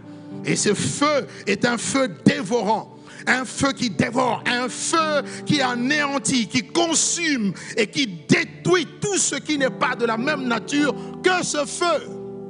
La gloire de Dieu vient détruire, consumer tout ce qui est contraire à la nature de Dieu qui est le feu. Hébreu 12, verset 29. La Bible dit car notre Dieu est aussi un feu dévorant. La gloire, c'est Dieu. Dieu, c'est sa gloire. Oh, le Seigneur, c'est l'Esprit. Oh, là où il y a l'Esprit du Seigneur, là a la liberté. Nous tous, dans le visage découvert, nous sommes transformés à la même, à la même image, de gloire en gloire, par l'Esprit de Dieu. L'Esprit, c'est le feu. Mais un feu qui va consumer tout ce qui n'est pas de la même nature que Dieu. Voilà pourquoi on nous dit que dans une grande maison, il y a deux sortes de matériaux. Il y a de foin, il y a de chaume, il y a la paille. Si tu es la paille, si tu es du foin, si tu es de la chaume, quand le feu passe, tu es consumé, tu es détruit et il ne reste plus que la cendre derrière toi. Mais à parole du salut, il n'y a pas que de la cendre, il n'y a pas que de chaume, il y a de l'or, il y a de l'argent. C'est-à-dire tu es un matériau, un des matériaux durables, mais qui doit passer aussi par le feu. Pas un feu destructeur, mais un feu purificateur. Aujourd'hui, Dieu doit te purifier, il doit te sanctifier, il doit te préparer pour que la gloire de Dieu soit grandissante en toi. Alléluia. Lorsque le feu vient et que tu es la paille, tu es consumé, tu es détruit. Et tu comprendras pourquoi certains, la gloire de Dieu va les détruire. Mais pour, nous et pour plusieurs, telle est la volonté de Dieu au travers de ce message, que cette gloire, que ce feu vienne plutôt nous purifier, nous émonder, arracher les scories et les saletés, les impuretés et les souillures, pour nous préparer à être de pistes d'atterrissage de la gloire de Dieu. Aide-moi à dire à ton voisin, bienvenue à l'aéroport de la gloire de Dieu. Amen, amen. Parole du salut 2022 est une piste, est une piste d'atterrissage de la gloire de Dieu. Amen, amen. Exode chapitre 40, verset 33 au verset 35. Là, nous voyons le deuxième aspect. Ce fut ainsi que Moïse acheva l'ouvrage. Alors la nuée couvrit la tente d'assignation et la gloire de l'Éternel remplit le tabernacle. Moïse ne pouvait pas entrer dans la tente d'assignation parce que la nuée restait dessus et que la gloire remplissait le tabernacle. Deuxième aspect que nous voyons, c'est l'aspect de la nuée. La nuée de la gloire. Dieu venait dans la nuée. On nous dit que lorsqu'il a fini de construire le tabernacle, la nuée, comme un nuage, est venue à commencer à remplir le tabernacle. Et ça a commencé à remplir petit à petit. Donc la gloire de Dieu, certainement je toucherai ça peut-être demain, la gloire de Dieu est progressive. Il y en a qui ont une grande dimension de gloire, d'autres en ont peu. Et le but de Dieu, c'est que la dimension de ta gloire augmente. Parce que la dimension ou la taille de tes défis sont grands, tu as besoin d'une dimension plus supérieure, plus grande pour les affronter et les terrasser. La gloire a commencé dans le lieu très saint. Et elle commençait à remplir le lieu saint, voire même les parvis, au point où Moïse ne pouvait pas entrer quand la gloire commence ou quand la gloire intervient. L'homme ne travaille pas beaucoup. La gloire de Dieu fait le gros du travail. Et l'homme ne fait que le, je dirais, le un dixième, pourquoi même pas le un centième du travail. Tu sais pourquoi nous fournissons beaucoup d'efforts? C'est parce qu'il n'y a pas la gloire. Et quand tu comprends le message sur la gloire, en réalité, tu comprends que ma priorité doit, doit, doit être rechercher la gloire et non fournir trop d'efforts. Parce que quand la gloire arrive, je fournis peu d'efforts, il y a des résultats. Quand la gloire arrive, tout ce qui était sec commence à, à devenir verdoyant. Voilà pourquoi même la, la, la, la- verge d'Aaron qu'on avait placée là, dans le lieu très saint, dans, dans le sanctuaire, dans, dans la tente d'assignation, avait fleuri. Que cette année, que Dieu puisse te faire fleurir. Que cette année, ait des choses qui étaient bloquées, que, oh oui, qu'il y ait des ouvertures à cause de la gloire de Dieu. Comme les Anglais disent, I know what I'm talking about. La gloire de Dieu va te faire gagner du temps. Troisième aspect, la lumière. Ézéchiel 1, verset 4. Je regardais, voici, et il vint du septentrion un vent impétueux, comme une tempête, une grosse nuée et une gerbe de feu qui répandait de tous côtés une lumière éclatante, une lumière éblouissante, au centre duquel brillait comme les reins polis qui brillait? L'éternel qui était au centre. Dieu est dans la gloire. La gloire, c'est- là où Dieu, Dieu, la présence manifeste et visible de Dieu. La présence active de Dieu se manifeste. Donc quand tu as cette gloire, tu as Dieu avec toi. Amen.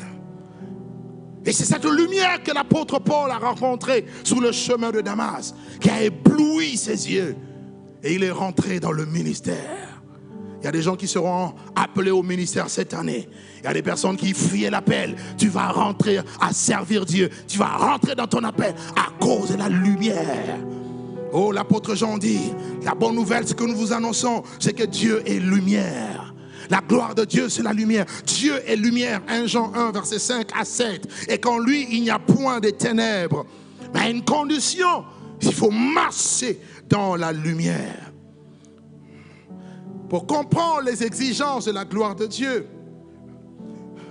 je voudrais que nous puissions noter trois mots fondamentaux, trois mots essentiels qui tournent autour de la gloire. Premier mot, c'est l'ordre divin. Deuxième mot, c'est la gloire. Troisième mot, c'est le jugement. Là où il y a la gloire, il faut qu'il y ait de l'ordre. Et quand il n'y a pas de l'ordre, le jugement entre. Quand il y a la gloire, il faut qu'il y ait de l'ordre. Et là où il y a de l'ordre, ce jugement ne vient pas pour euh, euh, euh, t'éliminer, mais il vient pour te bonifier. Il vient pour te qualifier.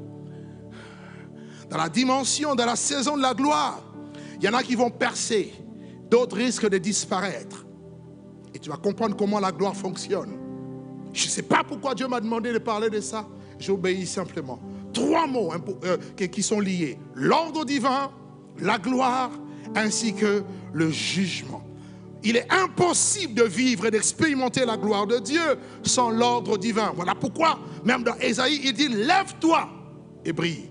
Lève-toi et sois éclairé. Il y a un ordre d'abord. Tu dois te lever. Si tu ne te lèves pas, tu ne brilleras pas. Tu ne manifesteras pas la gloire de Dieu. Se lever, c'est quoi? Se lever, c'est- sortir de sa zone de confort. Se lever, c'est quitter sa position, la position assise. Se lever, c'est- en, en d'autres termes, c'est se réveiller. On nous parle ici d'un réveil spirituel, spirituel, d'un éveil spirituel. Tu dois prendre conscience de ton état actuel, que tu es dans les ténèbres, que tu es dans l'opprobre, que les choses n'avancent pas. Tant que tu n'as pas compris que ta position t'empêche de vivre la gloire de Dieu, année de la gloire ne restera qu'un slogan. Mais lorsque tu comprends que Dieu ne veut pas que je sois là où je suis, là où il m'attend, c'est beaucoup plus glorieux. Donc je vais commencer à analyser qu'est-ce qui ne va pas aujourd'hui que je dois arranger pour aller là-bas. Je suis venu dire à quelqu'un là où Dieu t'attend est plus grand et plus glorieux que là où tu es maintenant. Là où Dieu attend parole du salut, c'est dans une dimension élevée. Ce n'est pas là où elle est maintenant. Voilà pourquoi Dieu a décrété cette année l'année de la gloire. Donne-moi un bon Amen. Dis à ton ami, tu dois te lever. Regarde-le un peu, dis-lui, réveille-toi, réveille-toi, lève-toi, lève-toi, lève-toi. Secoue-le un peu comme ça avec ton coude. Dis-lui, lève-toi, lève-toi, lève-toi. Amen, amen. Dans Genèse 1, verset 27 à 28, la Bible dit que Dieu va créer l'homme à son image. Il créa l'homme et la femme à l'image de Dieu. Et puis, il va leur demander, il va les bénir et il va leur demander de dominer sur la terre. Genèse 2, verset 16 à 17, Dieu donne un ordre à l'homme maintenant.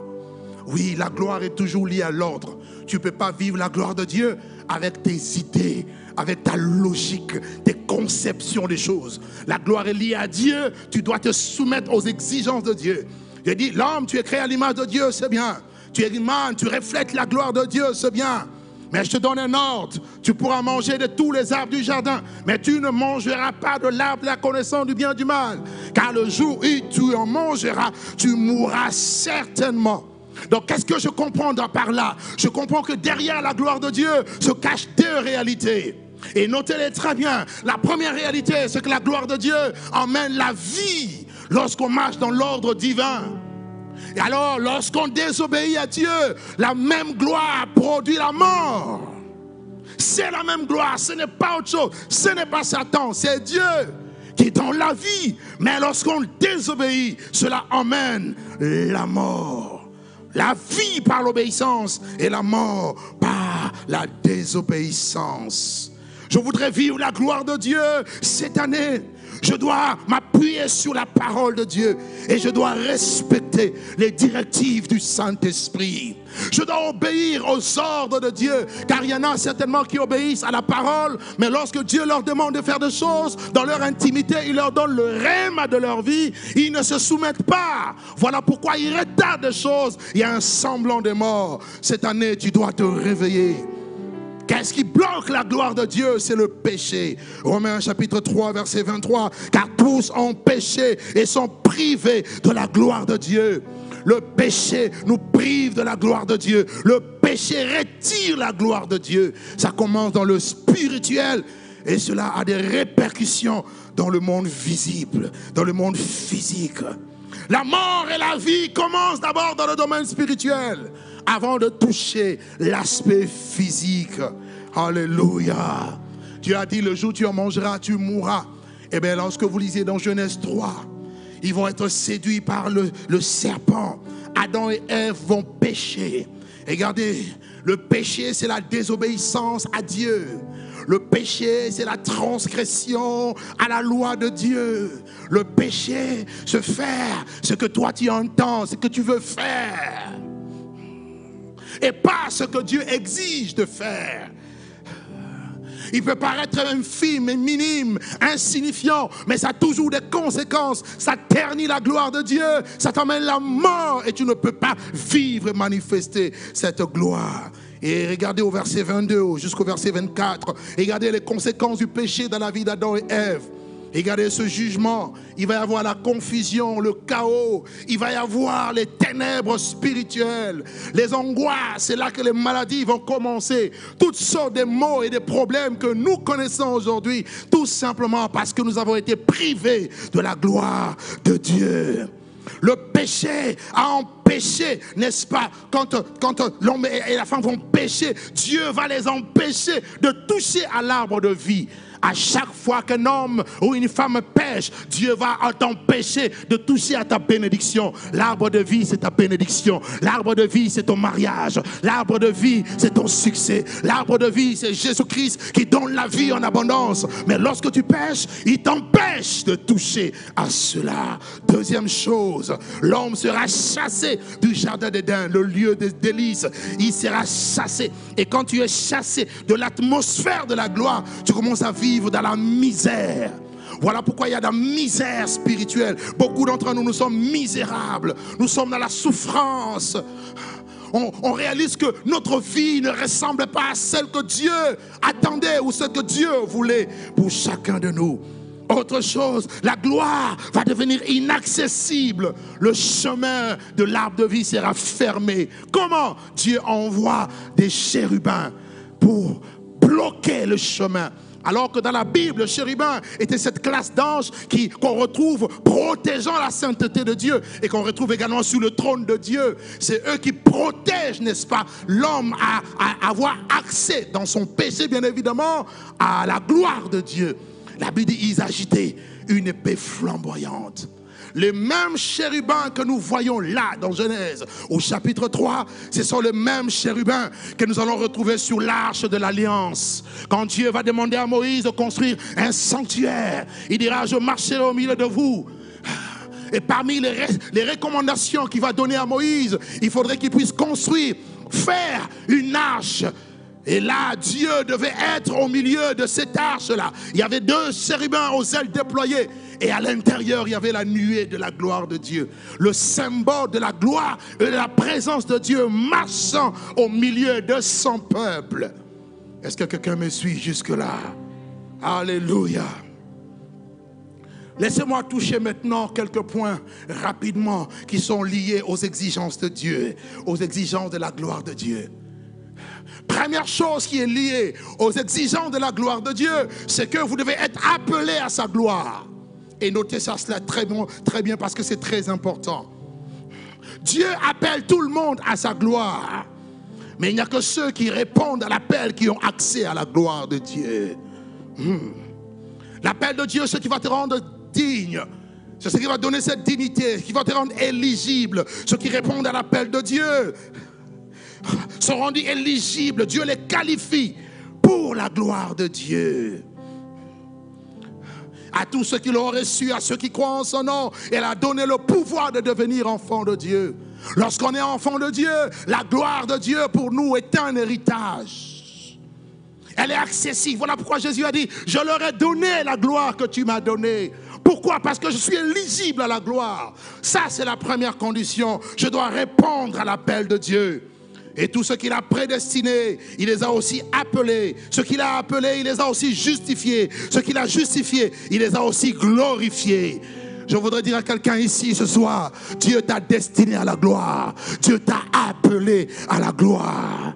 Mais tu dois accepter Jésus comme Seigneur et Sauveur. La gloire de Dieu n'est pas pour les non-croyants. La gloire de Dieu n'est pas pour les religieux. Si tu es un religieux, tu n'as pas droit à la gloire de Dieu. Elle va te tuer. Deuxième exigence de la gloire de Dieu, c'est la sanctification. Quelqu'un dit avec moi la sanctification. C'est la séparation d'avec le mal. Oui, le fait de fuir le mal. Dans la sanctification, nous avons la notion de la pureté. Nous avons la notion de la sainteté. La sanctification, c'est la séparation d'avec le mal, d'avec le péché et d'avec les Il faut fuir le mal, il faut fuir l'iniquité, il faut fuir les souillures en pensée, en attitude, en parole et en acte. Il faut fuir cela. La gloire de Dieu est incompatible avec le péché. Tu ne peux pas vivre dans le péché et espérer vivre la gloire de Dieu. Tu es en train de dire des slogans. C'est pas vrai. Et cette sanctification est valable dans deux directions. La première direction, c'est qu'elle exige un style de vie de sainteté. Tu dois avoir un style de vie qui manifeste la sainteté de Dieu. Nous avons un texte dans 1 Samuel chapitre 2, verset 12 au verset 25. Il est question ici des fils d'Élie, le sacrificateur. Ils étaient appelés à la gloire. Ils étaient sacrificateurs. Ils étaient censés connaître la parole de Dieu. Ils étaient des garants de la parole. Ils étaient des enseignants de la parole. Mais leur style de vie était contraire à la parole de Dieu. Et ils sont devenus des objets de scandale. Et à cause de le jugement de Dieu, ils ont été disqualifiés pour la gloire.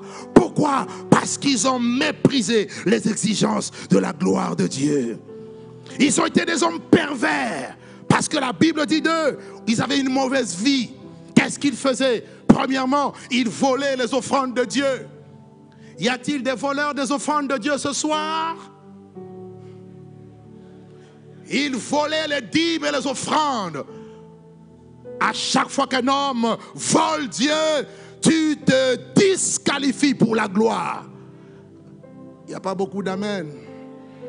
C'est la vérité. Amen. Ils avaient des connaissances théoriques, ils n'avaient aucune connaissance pratique. En réalité, connaître sans pratiquer, c'est ignorer. Beaucoup connaissent, je sais, mais ils n'appliquent pas. Tu es un ignorant, bourré de connaissances.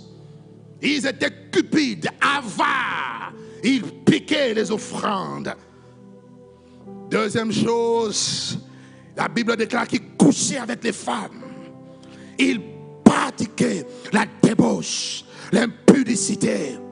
Combien de personnes crient la gloire de Dieu, mais ils ont une vie de débauche, une vie d'impudicité, d'adultère, de convoitise, une vie d'impureté, de, de, de, à la pornographie, à la masturbation, à toutes les choses qui sont contre nature.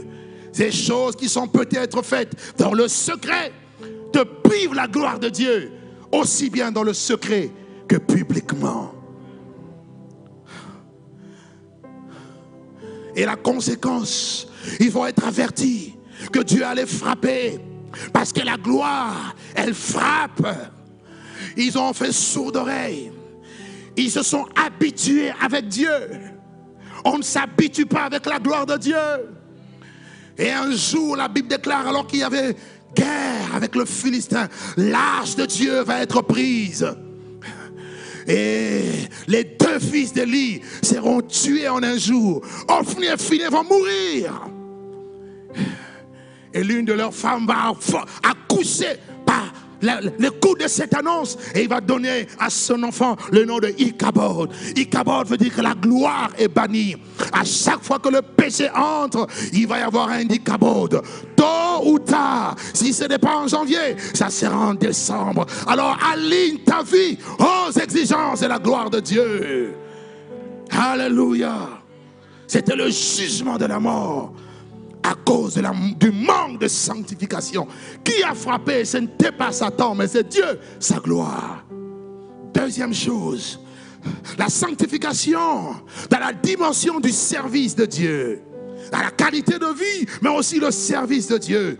Lévitique 10, 1 à 3, vous lirez. On nous parle des fils d'Aaron qui étaient souverains sacrificateurs, Nadab et Abihu. Qu'est-ce qu'ils ont fait? Ils ont apporté dans la maison de Dieu, dans la présence de Dieu, un feu étranger.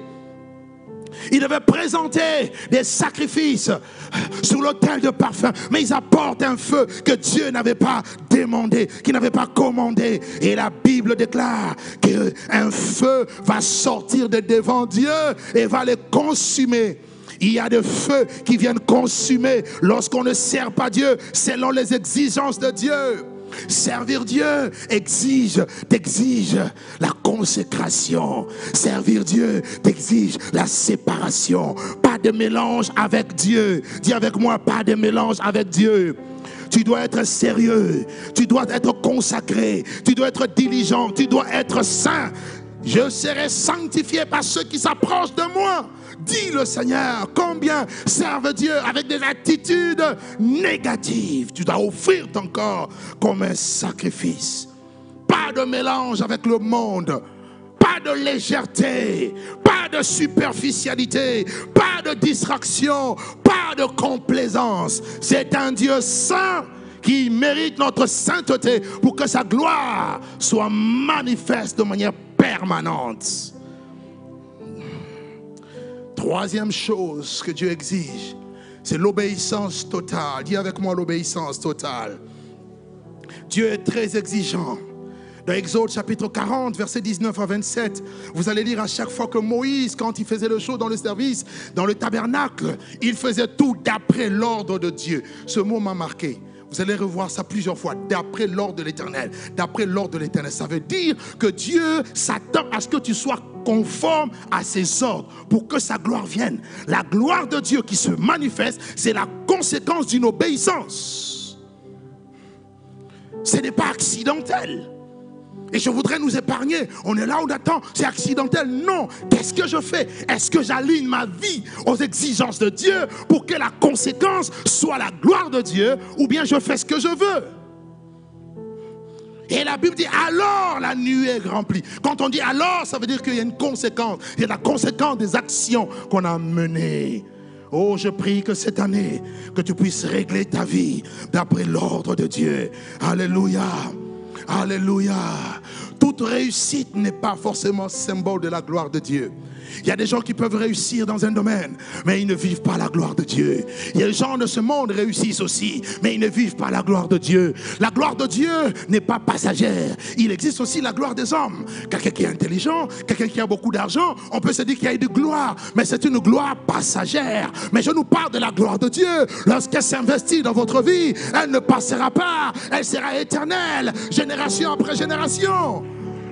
Est-ce que Dieu peut-il susciter des hommes et des femmes qui vont obéir à la voix de Dieu pour que la gloire de Dieu soit visible, palpable et manifeste? Il ne suffit pas de beaucoup jeûner. Il ne suffit pas de beaucoup prier. Avant de jeûner, prier, rassure-toi que tu alignes ta vie à l'ordre de Dieu. Et ça m'amène maintenant à ma conclusion. Le texte que nous avons lu, c'est une conclusion des exigences de Dieu. David se lève un jour et il décide avec euh, son élite des personnes de sortir l'arche de l'alliance, de balayer Judas pour l'emmener à Jérusalem. Bien aimé, j'ai été frappé par ce message, ce texte. Il dit, mais ce texte me, me fait réfléchir sur beaucoup de choses. Et, et- et- la même arche, pendant qu'elle allait partout, elle leur donnait la victoire. Mais là, il va avoir un effet négatif, un effet contraire. Ils prennent l'arche, première erreur. Ils n'ont pas obéi aux ordres de Dieu. Ils ont mis l'arche sur un char neuf. Alors que selon Lévitique 25, à partir du verset 13, et Nombre chapitre 5, ou plutôt 4, à partir du verset 1er jusqu'au verset 15, Dieu dit clairement que l'arche devait être portée par des Lévites, les fils de Géat. Dieu avait donné des ordres précis et Dieu ne change pas. On a l'habitude de dire Dieu ne change pas par rapport au miracle, mais aussi par rapport à ses exigences. Il ne change pas. Et eux, ils font le contraire. Ils prennent l'arche, ils posent l'arche sur le char. Et la Bible dit que le char, plutôt l'arche, demeurait dans la maison d'Abinadab. Et Abinadab, on nous parle de ses deux fils, euh, Achijo, c'est ça, ainsi que Uza. C'était les deux fils. Et l'arche était dans leur maison. Et là, ils vont transporter, ils vont mettre l'arche sur le char. En réalité, ils avaient l'habitude de voir l'arche. Ils s'étaient habitués à la enfin, au sacré. Et ils ont oublié les exigences de Dieu. Parce que l'acte que cet homme va poser, s'il connaissait véritablement les exigences de Dieu, il n'allait peut-être pas le poser.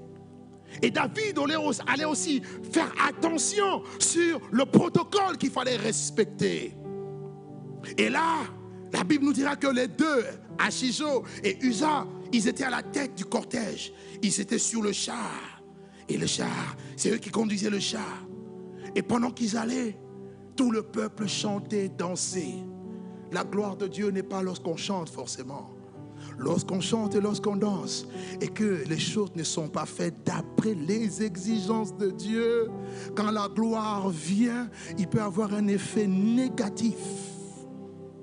C'est pourquoi certains viennent là où il y a la gloire de Dieu, sortent. Vous avez l'impression qu'ils sont frappés. Oui, parce qu'on oublie comment Dieu est. On oublie les exigences de Dieu. Et arrivé à un certain lieu, la Bible dit que l'âge commençait à pencher. Et qu'est-ce que Usa fait? J'imagine, il était sur le char, il voit que l'âge commence à, à pencher, il ose toucher avec sa main. Et la Bible dit pour saisir l'âge, pour empêcher que l'âge ne tombe. Quel mal il a fait sur le plan, sur la logique humaine.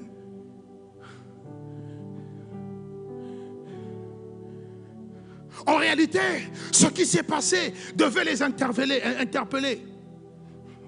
Quand tu commences à avoir un déséquilibre dans les choses, arrête-toi, ne continue pas. Il devait arrêter le char pour se dire il y a un problème dans le protocole, revenir à l'ordre divin. Bien-aimé dans le Seigneur, avec Dieu, lorsque tu, as réalisé que tu t'es trompé, arrête-toi, reviens en arrière, remets les choses selon les fondements. Alléluia. Ne cherche pas à faire les choses en désaccord avec Dieu. Tu le payeras cher. Je dis bien, tu le payeras cher. Hier dans ma vie, dans le ministère, j'ai dû faire certaines choses qui n'étaient pas bonnes. Je me suis rattrapé, je me suis repenti, je me suis arrêté. Et quand ton voisin te dit arrête-toi un peu. Est-ce que tu l'as dit? Regarde-le en face, dis-lui mon frère, ma soeur, stop, arrête-toi un peu. Fais une réévaluation des choses.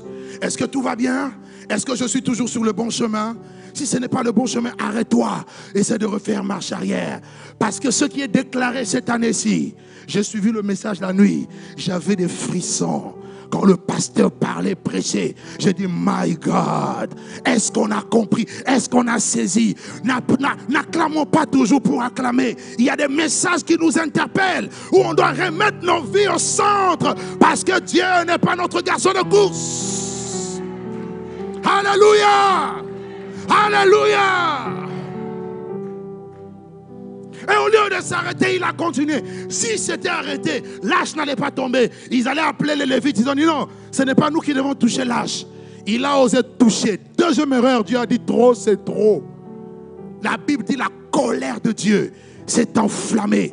Et Dieu a frappé Uza à cause de l'âge, à cause de la gloire. Uza a été frappé. Bien-aimé, la conséquence de ce jugement ici de l'âge, ça a été la disqualification, ça a été l'élimination. Je ne veux pas que la gloire de Dieu en 2022 puisse m'éliminer. J'ai besoin que la gloire puisse me qualifier. Ah, donne-moi un bon Amen. Donne-moi un bon Amen. Le nom Ouza veut dire force. Mais regardez, lorsque la force de Dieu est venue, le poids de Dieu va écraser ta force. Sois millionnaire, sois riche, sois intelligent. Sans que tu désobéis à Dieu, Dieu va t'écraser. Il va te montrer que tu n'es rien. C'est pourquoi les hommes puissants, ce ne sont pas des hommes forts. Ce sont des hommes qui respectent l'ordre de Dieu. Ce sont des hommes qui respectent le protocole de Dieu. Oh, parole du salut, respecte le protocole. Je parle un homme, une femme, respecte le protocole. Tu vas commencer à vivre la gloire de Dieu. Ça va venir petit à petit et ça va monter crescendo. Nous sommes au mois de janvier. Réévalue les choses. Avant mars, je te dis d'ici mars, d'ici juin, tu verras les choses aller dans un bon sens.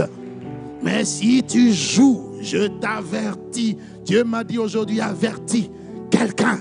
Si tu joues, si tu joues, la gloire va te frapper. La même gloire va te frapper. Il était de la tribu de Benjamin. Il n'était pas qualifié. Il n'était pas appelé à ça. Ne fais pas les choses pour lesquelles Dieu ne t'a pas appelé. Suis le protocole de l'Église. Suis ce que les leaders te disent. Obéis aux instructions. Car ne peut exercer l'autorité qui est soumis à l'autorité. Et toi, tu n'es soumis à aucune autorité et tu veux manifester l'autorité. Ça ne marche pas parce que du reste, il n'y a que Dieu qui est l'autorité suprême. Nous sommes des autorités déléguées. Est-ce que je suis en train de parler à quelqu'un? Et je suis en train de finir. Amen. Il était dans la légèreté. Il s'était habitué. Ne t'habitue pas au pasteur Noëlla. Ne t'habitue pas au pasteur. La familiarité brise des liens, brise des barrières au point où on peut manquer du respect. Ne touchez pas au sacré. Même Dieu dit ne touchez pas, mais ouin. Bien-aimé dans le Seigneur, c'est des choses que je sais comment ça fonctionne. Faites attention. La légèreté, les familiarités, les habitudes. Parce qu'il avait l'habitude de voir l'arche. Il pensait que Dieu ne pouvait pas frapper. Mais là, il est mort. Bien-aimé, c'est ce qui s'est passé avec Ananias et Saphir dans le Nouveau Testament. La gloire les a tués. C'est pas Satan, c'est pas les démons, c'est la gloire dans l'église. On prie que la gloire soit remplie dans l'église. Hein? Mais il risque d'avoir des cadavres aussi. Maintenant, évalue bien ta prière parce qu'il faut bien prier. hein. On veut la gloire, non? Ok. Donc, s'il y a des Ananias et Saphira ici, moi je prie seulement s'ils vont mourir, qu'ils aillent mourir à la maison, pas à l'église. Parce qu'ici, on aura une enquête. Ça risque d'être compliqué. Alléluia. Deuxième chose, et je finis là, la qualification. La même arche qui a tué Usa. Quand David voit ça, David a peur. Ça veut dire qu'il n'avait plus peur de l'arche. Il faut toujours avoir peur du sacré. Craignez les choses spirituelles. On ne joue pas avec les choses spirituelles. David a eu peur, il dit non, l'arche ne viendra pas chez moi. Il décide que l'arche aille chez Obed-Edom. Mais bizarrement, la même arche qui a tué, cette arche va faire quelque chose de glorieux.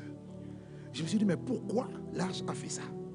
Chez Obed-Edom, l'arche amène l'approbation divine. Chez Obed-Edom, il y a la bénédiction accélérée. Et je vais là pour terminer parler aux Obed-Edom, aux Obed-Edomettes. Regarde-moi, regarde ton voisin, dis-lui, sors Obed-Edom. Dis à ton voisin, sors Obed-Edom. Lorsque l'arche, est-ce que le batteur peut venir? Le batteur peut venir. Lorsque l'arche de l'alliance est rentrée dans la maison d'Obed-Edom, la Bible dit qu'il y a eu effet inverse. Pourquoi? On nous dit que c'était Obed-Edom de Gath. Alors j'ai regardé, mais dans Gath, c'est là où d'où venait Goliath, non? En faisant mes recherches, j'ai compris, non, ce n'est pas le même Gath là. Obed-Edom vivait à Gath, Rimon. C'était une ville où étaient les Lévites qui appartenaient à Dan. Donc Obed-Edom était Lévite. Donc qualifié. Non, non, tu n'as pas compris. Il était qualifié pour porter l'arche, pour avoir l'arche. Il devait avoir environ 50 ans. Et en tant que Lévite, on entre dans l'office à 30 ans. Et il a servi Dieu pendant 20 ans, mais il ne voyait rien. Mais il était fidèle. Il a respecté les exigences. Il a marché selon la parole. Il craignait Dieu, mais il était fidèle. Ne regarde pas le temps passé. Parce qu'en 2022, il y a changement de protocole. Non, quelqu'un ne m'a pas compris. L'arche était obligé d'aller dans la maison de David. Mais Dieu a court-circuité les choses. Ah, tu ne m'as pas compris. Je dis en 2022, Dieu va court-circuiter les choses. Toi qui as souffert pendant longtemps, mais qui est resté fidèle à Dieu, fidèle à la parole, fidèle à l'alliance, fidèle à l'appel de Dieu, l'as va rentrer dans ta maison. Ah, Dieu m'a dit, l'as entre la parole du salut. Est-ce que je parle la parole du salut? Dieu m'a dit, lâche entre la parole du salut. Mais quand l'âge entre, les choses changent. Ah, il a attendu 20 ans. Il a été béni en trois mois.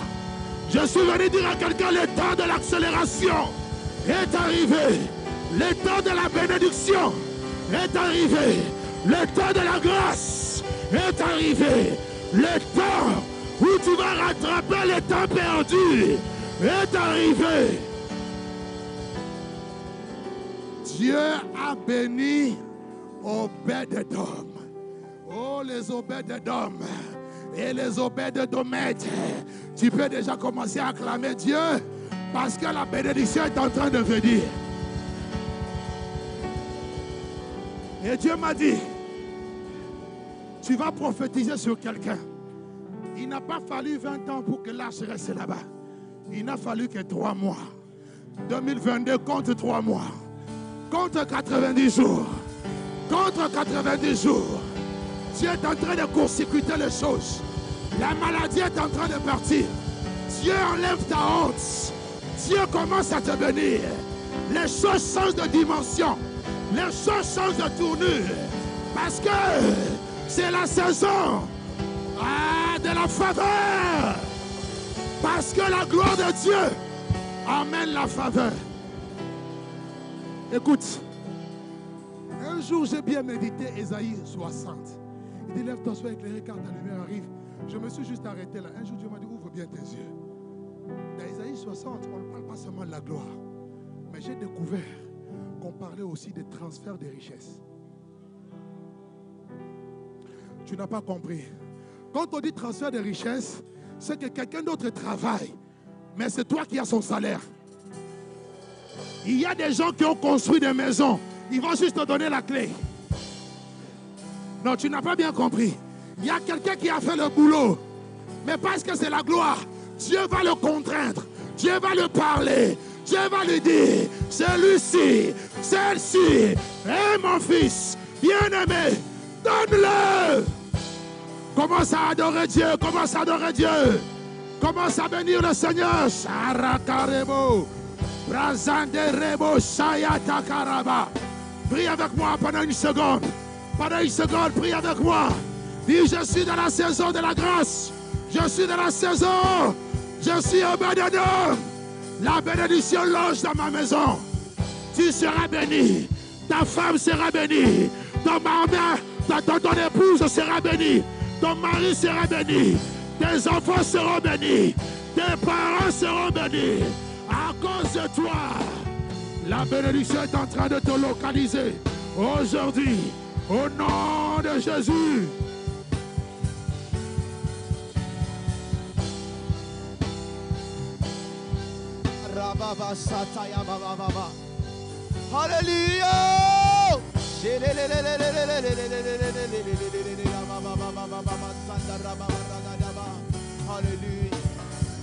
Hallelujah.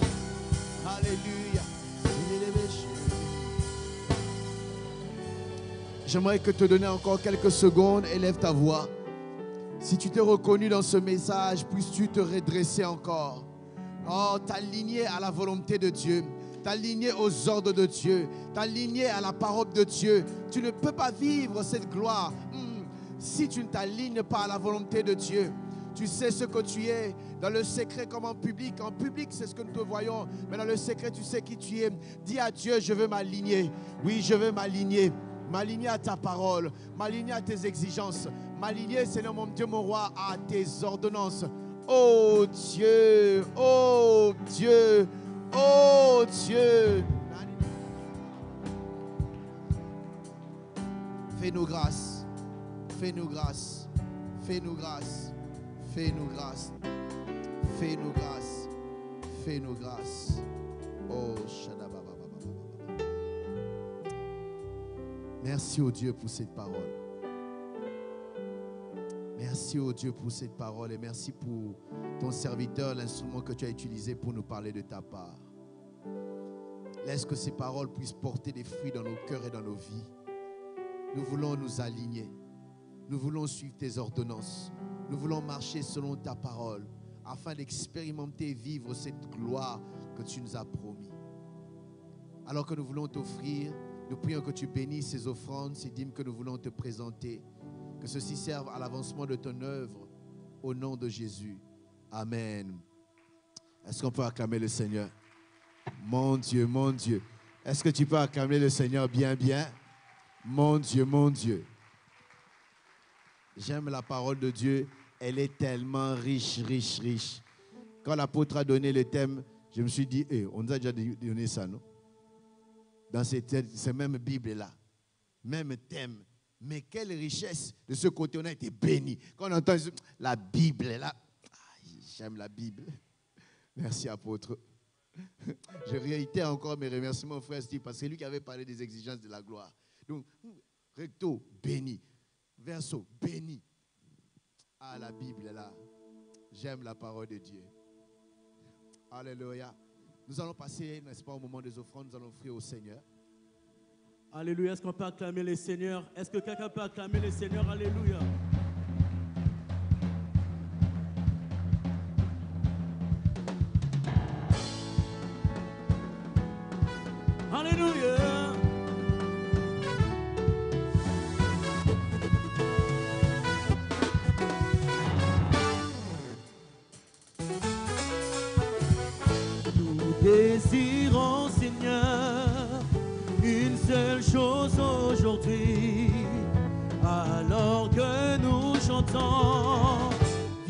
Viens transformer. Nous désirons, Seigneur, Désirons, Seigneur, une seule chose. une seule chose aujourd'hui. Alors que nous chantons, Alors que nous chantons, viens transformer. viens transformer nos Nous vies. désirons, Seigneur, Désirons, Seigneur, une seule chose. une seule chose aujourd'hui. Alors que nous chantons, transformer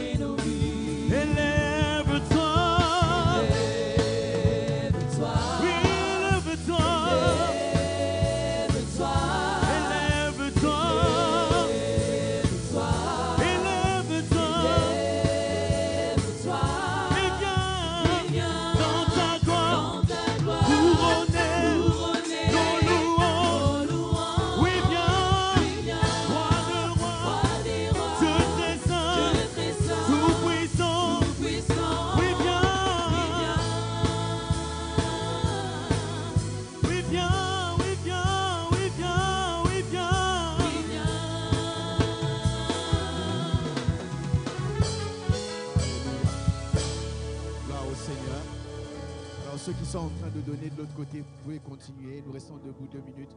Juste les, quelques annonces. Nous allons prier pour clôturer ces moments.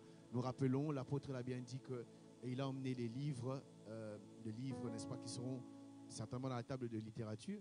Et du reste, euh, c'est le cadeau de, de BT. Nous rendons grâce à Dieu pour cela. Apôtre Dieu gentil, hein? Merci beaucoup. Merci beaucoup pour l'avancement de l'œuvre de Dieu. Euh, ça, c'est un message à aller réécouter, réécouter encore. Continuez à écouter, que cela entre dans nos cœurs et le message devienne cher dans nos vies et que ça produise des fruits. Nous rappelons que demain matin, nous sommes là encore ce matin, euh, euh, pardon, demain matin de 5h à 6h pour nos moments de dévotion matinale. Alors je vous invite à ne pas manquer à ces moments. Si vous pouvez pas être là euh, en présentiel, connectez-vous, surtout sortez de la couette. J'ai aimé ce que l'orateur a dit ce matin. vous qui êtes dans la, couette, Dieu vous voit. Sortez de la couette et adorons, prions le Seigneur. Et euh, de 12h à 18h, nous avons notre programme en ligne sur Zoom où nous nous connectons pour prier. Bien aimé, c'est des moments merveilleux que nous passons. Si tu as, tu as un temps libre, connecte-toi. Même si c'est 10 minutes, même si c'est 30, 40 minutes, fais-le. Mais même si tu as aussi toute la journée, tu peux expérimenter de passer longtemps dans la présence de Dieu. On apprend à prier qu'en priant. Amen, amen. Et le soir à 19h, nous allons revenir ici avec encore l'apôtre Douglas. I! Donc, euh, rappel à celui qui n'est pas venu. Ne manque pas. Amen, amen. Oh, Est-ce que je parle aux Édomites ici? Euh, Père, nous prions que ta grâce se renouvelle dans nos vies. Merci pour cette parole que nous avons reçue de toi ce soir. Qu'elle continue à retentir dans nos cœurs. Nous voulons, Seigneur de gloire, porter des fruits. Que cette parole qui est comme une sémence qui entre dans nos cœurs puisse porter des fruits dans nos vies, s'il te plaît. Nous voulons expérimenter ta parole. Père, bien des fois nous voyons seulement ce que tu fais ou ce que tu feras et nous ne voyons pas notre part. Notre part, c'est de nous aligner. Donne-nous à nous aligner, Seigneur mon Dieu de gloire. Je prie, ô Dieu, que tu nous raccompagnes dans nos maisons. Que ta main soit sur nous, protège-nous. Éloigne de nous accidents et incidents, s'il te plaît. Au nom puissant de Jésus. Merci Seigneur. Avant de, clôturer, je nous rappelle juste que nous avons deux bien-aimés de l'Église qui ont, qui ont perdu des membres importants de leur famille. Nous avons notre sœur Jessica Kabouya qui a perdu sa mère euh, depuis, je crois, 3-4 jours. Et le deuil se tient dans leur maison familiale à Comble-la-Ville. Et puis il y a la sœur euh, Sephora qui a perdu son père le même jour pratiquement. Et euh, euh, l'enterrement se fera, j'ai ça dans mon téléphone. Est-ce que je peux juste pour rappeler, à moins que je m'abuse, j'ai ça dans, excusez-moi, juste pour vous donner le programme. Pour ceux qui peuvent, en tout cas, la Bible dit, pleurez avec ceux qui pleurent et réjouissez-vous avec ceux qui se réjouissent. Et la Bible ajoute, il dit, vaut mieux aller dans une maison de deuil parce que là, on réfléchit.